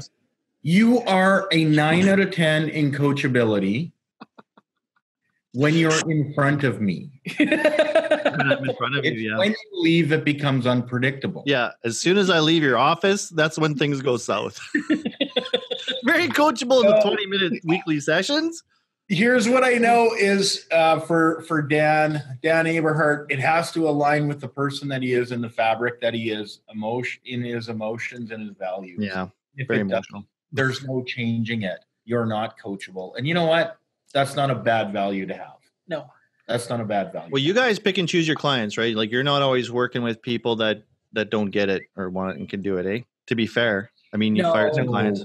Well, that's that's you know, uh, that's where it's nice being where we are today. Is Yeah. is we can actually pick and choose, um, and you know, like we we want we want to feel good every day we come into work. We want to feel like we're making a difference, and yeah, uh, when we can find those spots where we really feel we're making a difference, then that's what we want to do. You know, we've only we're just like everybody else. We've only got so much time, so much effort, so much energy, and um, you know, I I think that we're pretty amazing at what we do. So I don't know why I would go and put that in mediocrity. So I I, I want people that want to do some really cool stuff, and I like big problems to solve, and uh, I like to be excited. So yeah, uh, it's kind of cool now where we are being able to choose and pick what we want to do. I like people that like my problems. That's pretty exceptional. I, Get I just just want to add that, down. The one, one thing I, I just have to add to that is, although at the same time we're always open, we are always open to talking to to business owners, and so whether we become whether we work together or not is is immaterial because on the front end we do. I it's one of the things I tell Cathy every day. If I can talk to a new business owner every day, that's what really gets me excited and jazzed because I get to hear about what's going on in the world. I get to hear about their perspective on what's going on in the world. And for me, that ke- I, I feel like that keeps me really in touch with what's going on. So in those situations, I try to always add as much value back to that business owner that they could put into to play. Whether we work together or not, Doesn't matter. it, it should be a value. It should be a value to them, and we we believe we do a good job of that. Um, but we are, you know, I'm eternally grateful for I never, you know, 10, 12 years of this to be able to be in this situation where everyone that comes through the door, we don't need to work with them, which is an interesting phenomenon because now that we don't need it, it's there more than ever, which is which is really, I think, speaks to some of the great clients we have Yeah. because they've been willing to share the story just like you are today. And we're grateful, I think, for those people in our lives who, um, you know, rather than hoard and hide some of our capabilities, they're really willing to share that. And that is the entrepreneurial spirit in its essence.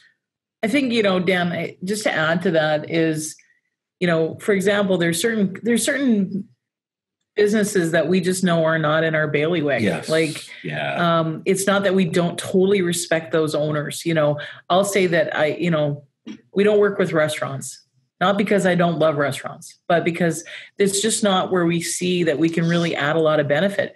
But there wouldn't be a restaurant owner that couldn't knock on my door and say, Can I sit down and have a half hour conversation with you or an hour long conversation where I wouldn't help them? Yeah. Um, we don't generally work with startups, but it doesn't mean that I wouldn't sit down and talk to them. You know, Jeff and I are about building the business community. yeah. We want to see every business owner succeed. The stats of business owners failing are so high, but it doesn't need to be Doesn't that need way. to be that way. I don't believe it needs to be that way. And so, whether it's a conversation at a business after five or sitting down and having a coffee, we are absolutely willing to sit and talk to anyone about business. We love we love what we do, and I think, um, like you said, sometimes it can be a lonely place. And so, when you can find networks, and anyone that's listening to your podcast, if they want to give us a call, uh, we'd be more than happy to talk to them, even if it's a 45 minute, an hour, hour and a half, two hour conversation. And it doesn't go anywhere beyond that. It doesn't matter. It's, you know, our message is, is if you want to create something different, you got to do something different. And sometimes it's just a, it's, it can be a conversation that can make all the difference. So Yeah. What would you What would you say to people that might not feel like they want to or need to be coached in business? I think that one point I have in that this this is one that speaks to me over and over. Cathy and I both have our themes, and one in particular to me, Dan, was I had a business owner who came into me uh, 65 years old, ready to retire, and realized their business wasn't worth anything, and had said to me, I did not listen to the people around me 15 years ago, and I wish I had. And so when I think, when I hear that, or when I see those, I think of this guy and what, and, and we see it more often than not in those situations where it's, it's, it's, it's too late or it's not too late, but now he's got to add another five years to his working life when he didn't have to. And truly for me, that's my, I feel like that's my mission sometimes is when I see people in that situation, I go, it doesn't have to be that way. Talk to someone. I don't care who it is. No. Talk to someone about where you're going to be. Start looking out at where you're going to be. And is what you're doing today going to get you there? And be really honest. Just be really honest. Do you have doubts about financial security in the future or the growth of your business? Or, you know, is it keeping you up at night? Do you think it's ever, you know, you ask yourself questions like, is it ever going to change? And the only thing that stops people from taking that step is being authentic with themselves first and then being able to talk about it so i don't know if that answers the question directly but i every time i see that or hear that i think of this situation and go a really awesome family by the way it was just such a great family and to me i felt like um, the family was robbed of time mm-hmm. with this the dad um, and they and they were really truly robbed of time. And he was so devastated that he wasn't able to go do what he wanted to with his family and grandkids at the time. And it just it's uh, on both a values level, emotional level, and a belief level in what we do. I went if I can stop that, if we can help that kind of situation, then we're doing the right thing. And and um, that's what drives me every day is that kind of situation? Can we make that kind of impact to change someone's life? I remember sitting at the Trusted Applicator Summit, and I really wish I could remember the name of the gentleman I was talking to. Um, but he was one of your trusted applicators. Mm-hmm. And I, I think he told me he was like 63 or 64 years old. And he said, You know, Cathy, uh, it's really funny because when I started farming 40 years ago, he goes, All I had to worry about was getting the seed in the ground. Yeah. And then coming along and and you know yeah. combining it at the end of the day and pulling it back out. And he goes, that's all I had to worry about was those things. And he goes, and today I got to think about inputs and I got to think about, you know, fertilizers and I got to think about soil, you know, how the soil is. And he goes, you know, this is just, he goes, I know what it was to be a farmer. I don't know what it is, is to be an agronomist. I don't know all of this stuff. And he goes, I'm trying really hard to learn. And I think that's the thing is there's been so many businesses that have been created because somebody was so good at their trade and I'll call it a trade.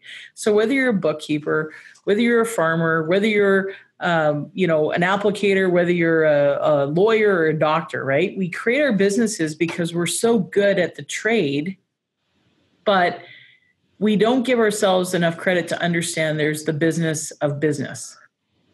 And so, yeah, you know, we don't go, you know, you know, look at like at Harvey, right? Harvey isn't sitting there and going, like, I know anything about taxes. right. I know anything about, you know, um, agronomy. Like, uh, you know, I know what Terry does. Like, you know, there's so many different expertises today.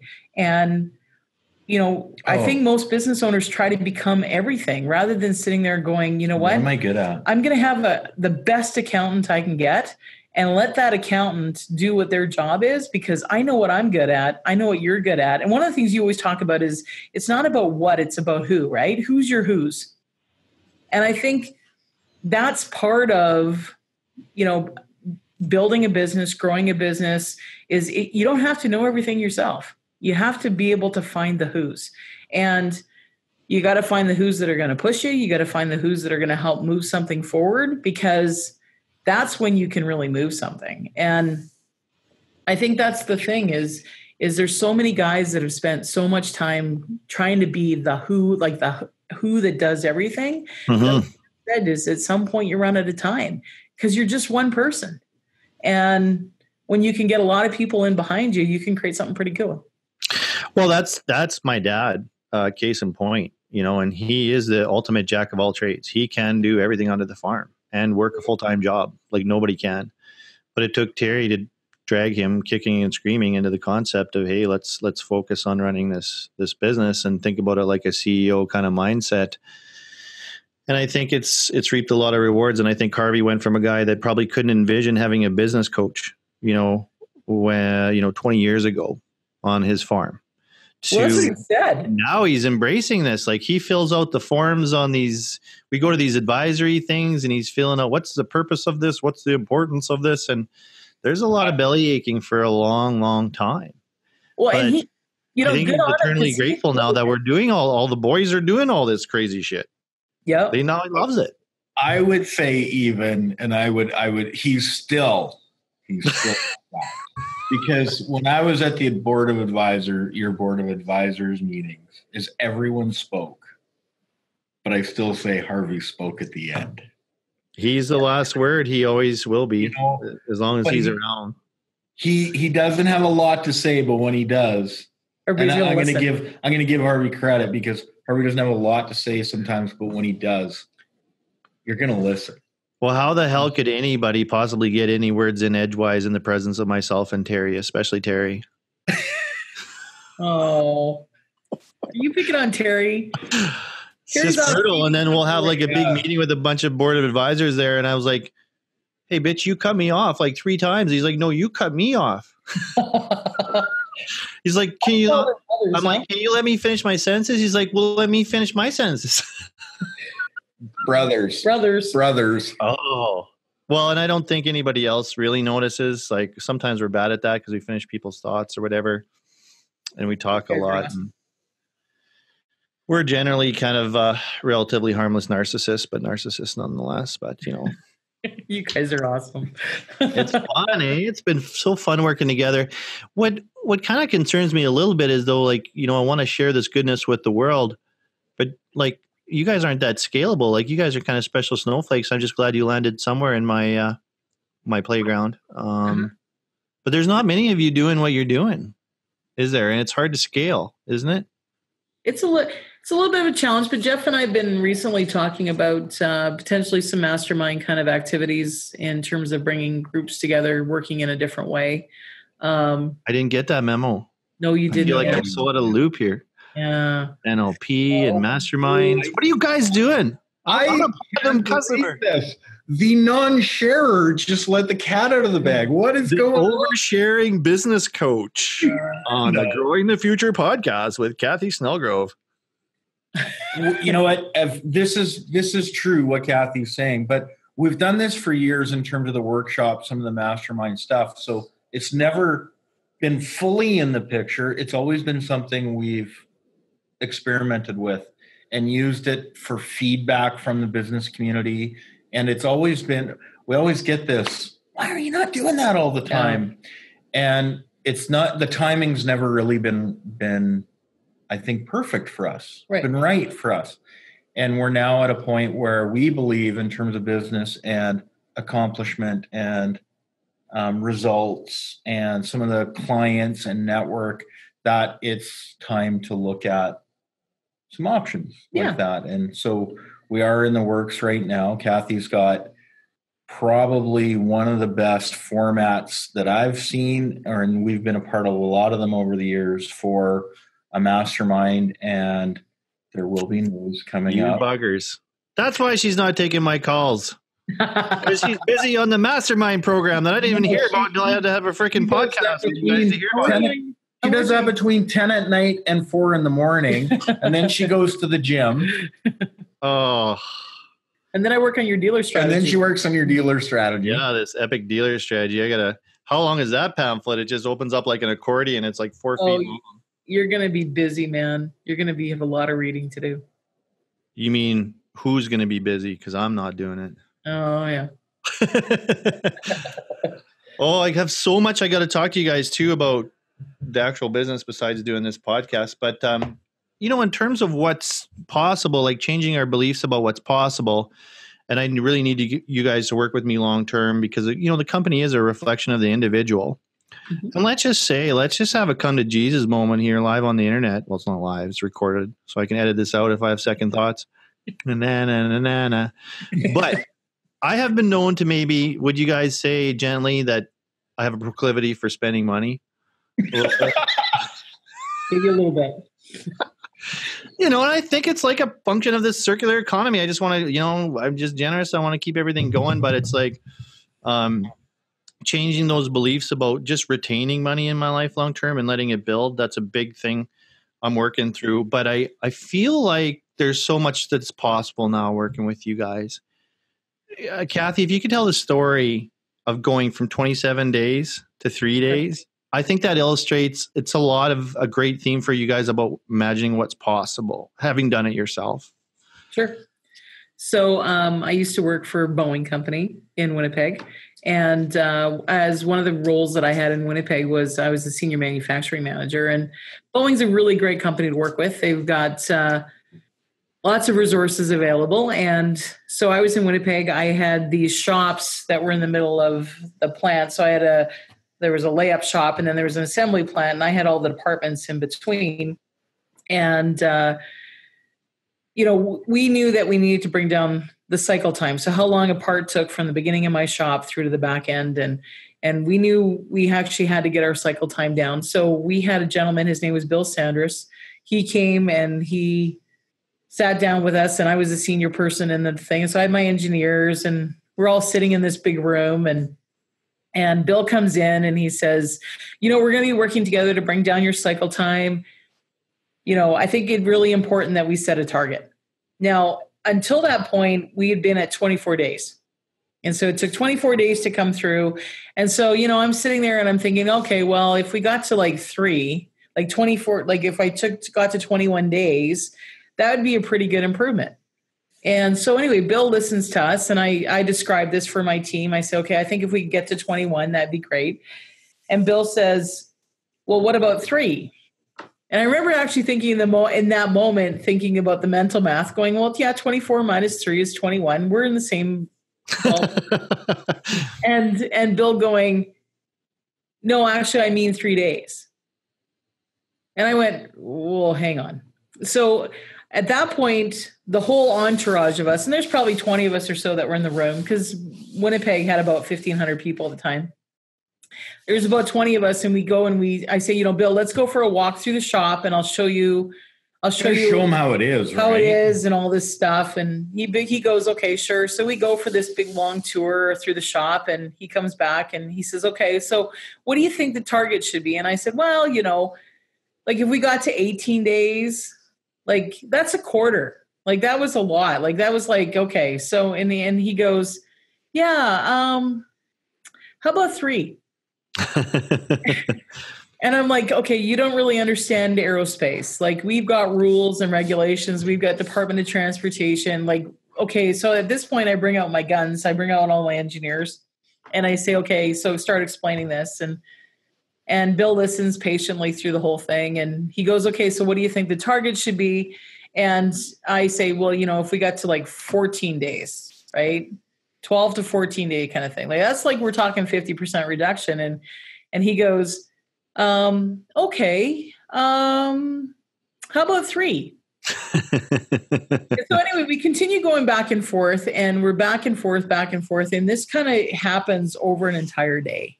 And so it's about 3 30, 4 o'clock, and my my we started pretty early there. My staff is all to go home, and it's going to just be Bill and I. And so Bill and I are going to go through the tough negotiations.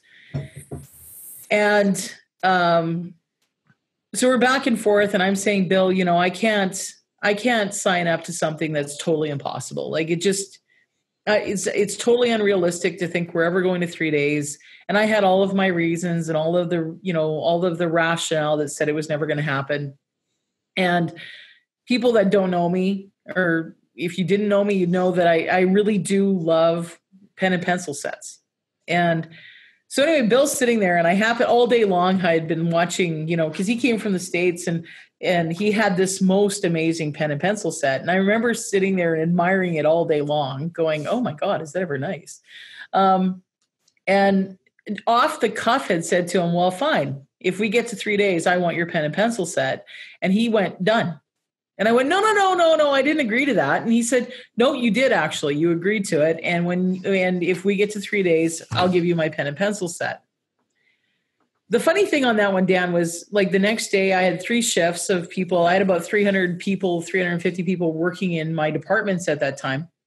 And I remember the next day going and talking to my staff about how we had just committed to getting to three days when we were really at 24. And I remember thinking, how absolutely nuts people were going to think I was. Like, you know, I had I had all the images in my head, and um, over the next six months, you know, those 300 people worked their asses off, and I give them the credit because they're the ones that came up with the ideas, and they're the ones that went and really uh, questioned why things were the way they were. We moved around locations, we moved around floor plans we changed how we were managing tools you name it we changed everything. And over the next six months uh, we ended up getting to 3.2 days of cycle time. And you know i guess at that like that exercise and i tell that story a lot but i tell it from the vantage point of is you know if you think you have to have all the answers like you just really haven't accessed what's really potentially possible. Like there was 300 people coming up with different ideas about how we could get to that goal. The other thing was is that, you know, big goals inspire people in different ways. And I thought there was going to be a whole ton of people that were going to come back and go, "Oh my god, you're crazy. This is never going to happen. What are you thinking?" you know, blah blah blah. And actually it was in fact the opposite. Is people went, "This is cool. Like this is something that's really cool." And it wasn't like any one person had the answer. I didn't have to have all the answers. In fact, when I didn't have an answer, it was better because somebody could come and push me out of what I'd been thinking and uh, what our group was thinking. You know, I never dreamt that you could go talk to the Department of Transportation and get them to change their regulations. I didn't even think of that, but I had an engineer that did.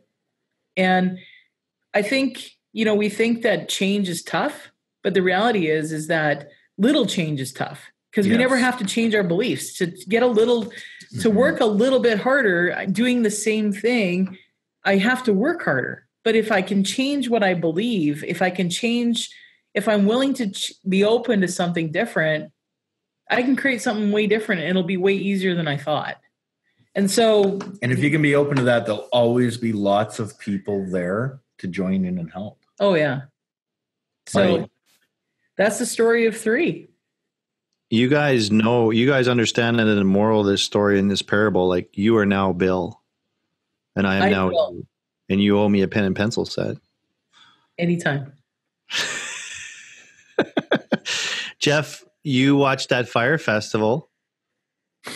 Is it a lot like dealing with me? Um, I'm on my own island that I got from Pablo Escobar, and I'm having a big party, and uh, we're shipping a bunch of people down. You're like, whoa, we don't have enough pissers. uh, We've only got FEMA tents.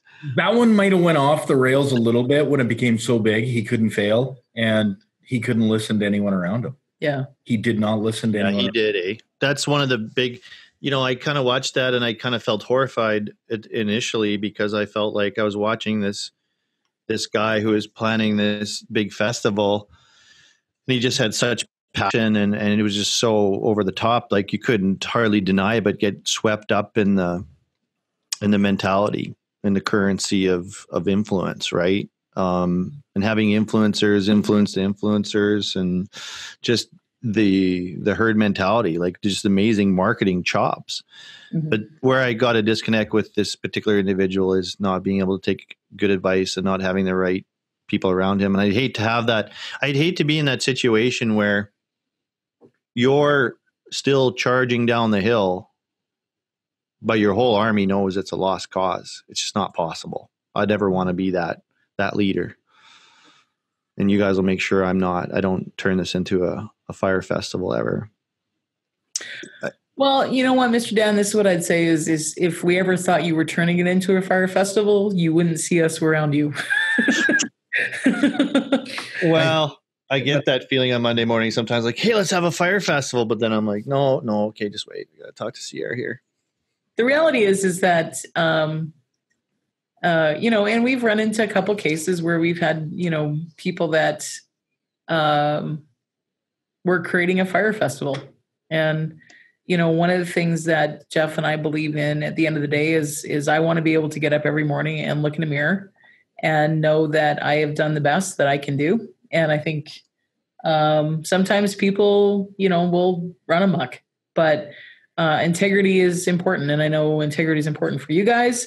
Uh, I know yes. it's important in your entire um, trusted applicator group. Uh, everything that you guys are creating, uh, I see that in you and Terry and Harvey and all your advisors. And sure, I think we all want to see success, and and but i think we want to do it in a way that uh, is good for the world good for the people that's around us our families and our friends and so i don't think we ever really have to worry about a Fyre festival man you know kind of a fun concept though or maybe we'll make one that works kind of like watching a train wreck huh you know well, I, yeah. love, I love the idea of great marketing and moving people and i think that's what you're talking about in terms of potential right is to move yeah people but I think you can move people to a common goal and some pretty amazing accomplishments. And one of the things that Cathy and I have become really clear over 12 years is the work we do every day becomes a part of our beliefs and becomes a part of our values and eventually becomes a part of our brand and how people see us. And we work long and hard to create that. And I think we have the moral compass along with that, that, yeah. um, you know, that's how we want it. That hey if there's anything in common with people as we all want to be remembered for something right? And create an impact and legacy. we want to be yeah legacy. So yeah. that's a big a big thing for us. And when people talk about siere or cathy or jeff um, at the end of the day you know we we we understand they may say man they really pushed me hard but i knew they cared. Yeah. But i knew they cared. And that's that's a big part of what we do Love it.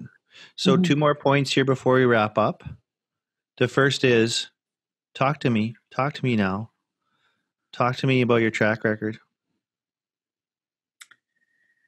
You've had really good luck helping businesses.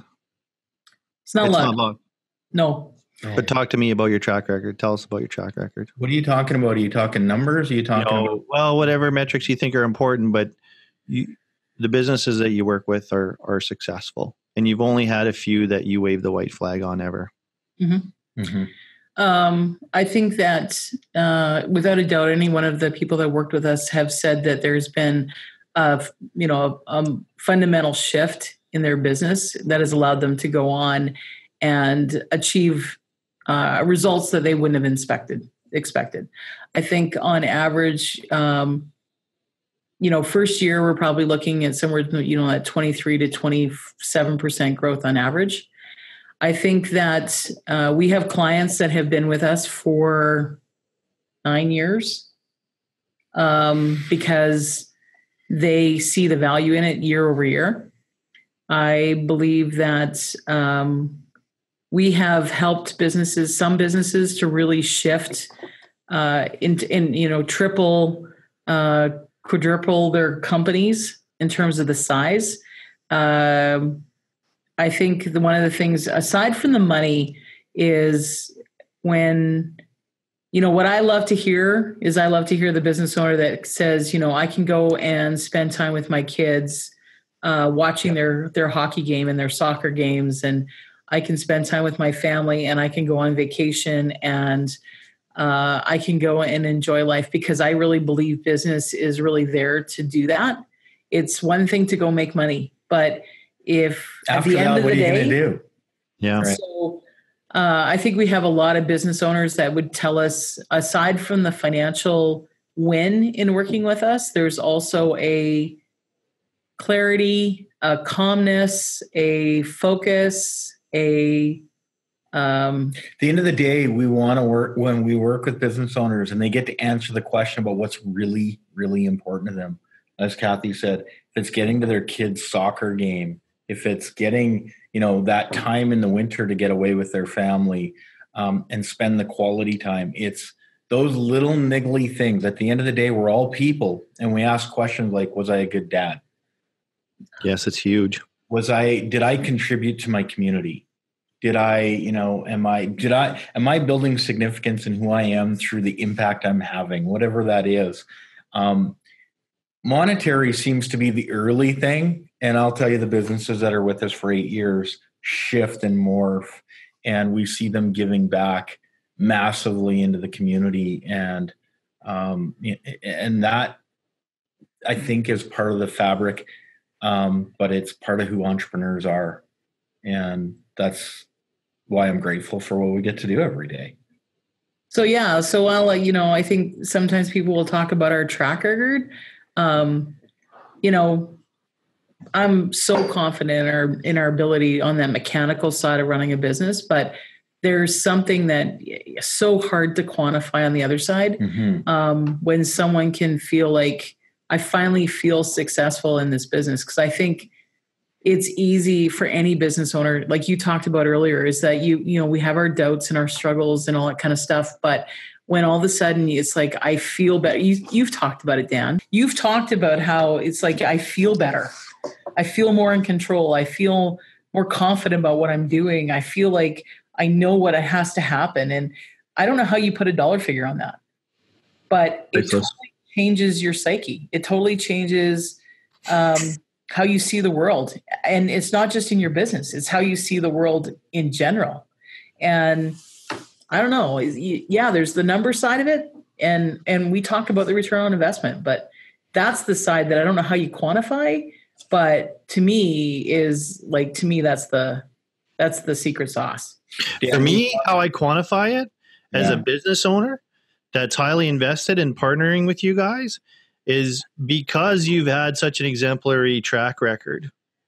In those moments of doubt, I can rest assured that I have the best possible people at the helm uh, working with me, and that very few businesses that you've worked with consistently that will actually take your advice have failed. Mm-hmm. And you know, having some of that that courage and the confidence, removing that that level of of self doubt is is pretty critical to be able to move forward and take action. And without you know proper clarity, it's very hard to move forward. Um, if you were to speak directly to someone that was where I was in September, right now, whether you know it's a producer, somebody in the ag biz world, or any business, I guess, what would you say to them where they are right now about about how you could help them and why they should come see you? one at a time? It's not, it's not your fault, but it's your responsibility.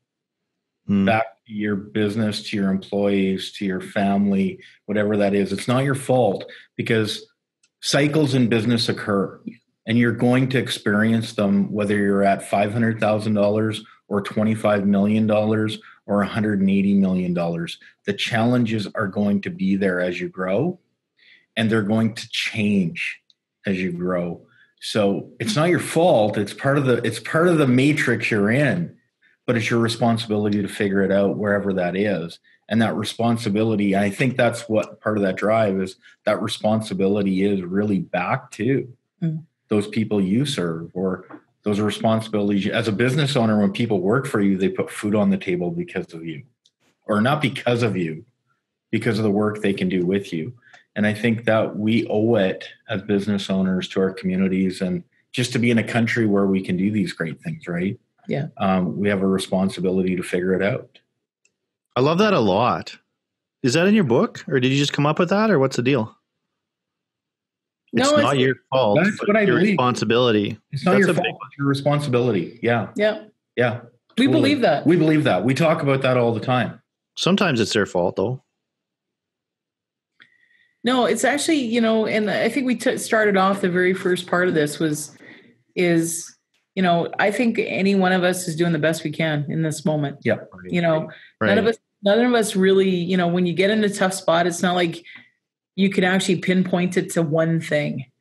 Uh, we like to, but it's, it's, you know, it kind of happens. And sometimes from those, like, and that's what I'd say is sometimes the worst points that you get is if you're open and you stick with that idea that it's not your fault but it's your responsibility then you can change it. And you, that one moment can become the best thing that's ever happened to you. I think go back to Um, Larry Hiller's conversation with you, Dan. You had a you had a choice right there, right? Larry said whatever he said that was so monumental to you, and you made a choice in that moment. And you have a great staff working for you. You're Yeah. making, you know, you're impacting across the prairies. Um, you made a choice. Some And of we're our just big- getting started. some of our Mhm. biggest success comes from some of our deepest moments.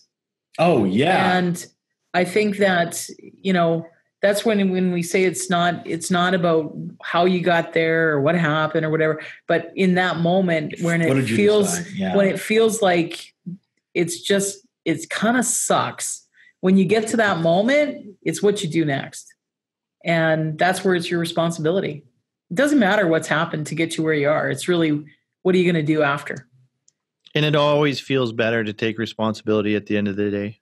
Like Yeah. it always feels better to own it and take action once you've got clarity on what it is you need to do. yeah. I, I really hope that this message reaches a lot of uh, people in the agricultural community out there because I know it's not easy for them. And, you know, I guess as a business owner, I've experienced my own ups and downs. And one thing I've found in life is everything's relative, yeah Yeah. you know. Um, and if you're at that point where you're ready to take that to take that leap to be coached, get ready for what could be possible in your life. I feel like we've got traction. I feel like we've got clarity. I feel like we're on the spectrum of nurse back to health and, and getting healthier all the time. And we can start talking about micronutrients and, you know, doing uh, all kinds of, of fancy, higher functioning things in business because of, of where we got to. I love you guys so much. You become best friends of mine. You become very important people in my life. And I thank you for everything you've done for us. Like you helped us through some pretty tough spots. And I'm excited to move forward with this Fyre festival thing we've been talking about. Let's blow this up. Let's buy an island. It's Fine. awesome. It's so fun. And let's keep doing it. Like, what can we do now? Like with you guys in my corner, what can we do now? Like, let's blow it up. And Absolutely. everybody that wants to come with us. And I was really excited to have you guys on the podcast because I like fitness or faith, like some of the best things in life. I wanted to share this goodness in my life with, you know, our millions of viewers.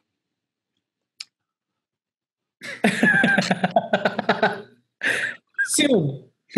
Soon, yeah. well, we're getting a little bit more of likes and followers every day, but that's not, I don't really care. No, I just love doing this. Like we we would have had a really good conversation if I came over for two and a half hours today about things that actually make us money, not cost us money, like the podcast. but at the same time, like would we have had this quality of conversation? We are where we are because of these connections that we have. And there's something about doing the podcast with everybody I do this podcast with. The connection is is just awesome. And it's like those relationships get so much richer. So, anyways, now I should come over and we should actually talk about some business stuff. Yes. Get the book. The Yes. book is it is what it is, or is it dot dot dot all about business by uh, Cathy Snellgrove and, and Jeff Rosier, some of the best damn business advisors you ever uh, have the pleasure to work with. If you if you take that monumental move in your life and your business, thanks for everything you guys do. Thank you. I know Harvey and Terry, you're probably right up there in their favorite people in their Rolodex because you finally got Big Brother Dan under control. We love the Eberhards. We love the Eberhards, but listen, listen. Uh, You're the most important Eberhard. I'm the most important neighborhood. Finally. No, no, mom. mom. Mom is the most. Oh, important. mom is. because without Oh. mom, you don't exist, my friend. You don't exist. That's a really weird uh, Back to the Future type statement that we would have to like explore over beers someday. So much Um, gratitude to the Eberhard family, Dan, Absolutely. and, oh, and awesome! Eberhard you guys A. are part of that. You guys, well, you're you're part of that. You're not really going to be part of the inheritance, I don't think. But then we could tie your perform, you know, performance to the inheritance. if you can enhance my inheritance, you can have a big chunk of it. I don't care. I just have to get Herbie to, Harvey to adopt me. I don't think you guys are far off. And you know who's the big deal too is like Larry. Larry loves you guys. Oh, Like I got a big complimentary text after the advisory board. You know, I think they were really, really impressed and blown away. And those guys, uh, I mean, they they know right away. They can sniff it. They can sniff it out pretty quick. That whether it's the real thing or whatever. Um, but yeah, it's really exciting what's what's all happening, and I've got new opportunities for you guys to help me with um, that I'm really excited about that I can't reveal on this podcast because of NDAs and silly little things like that. But good stuff, good stuff coming. Opening Neighborhood loop. egg powered by Siere. Dealer networks going what? Yeah, exactly. My poor dealer What? network. Sometimes they're like, "Oh, Eberhard's on another tangent. Can we just focus on Biosol here?" Don't worry, we'll keep it all under control. We got you. Gotcha.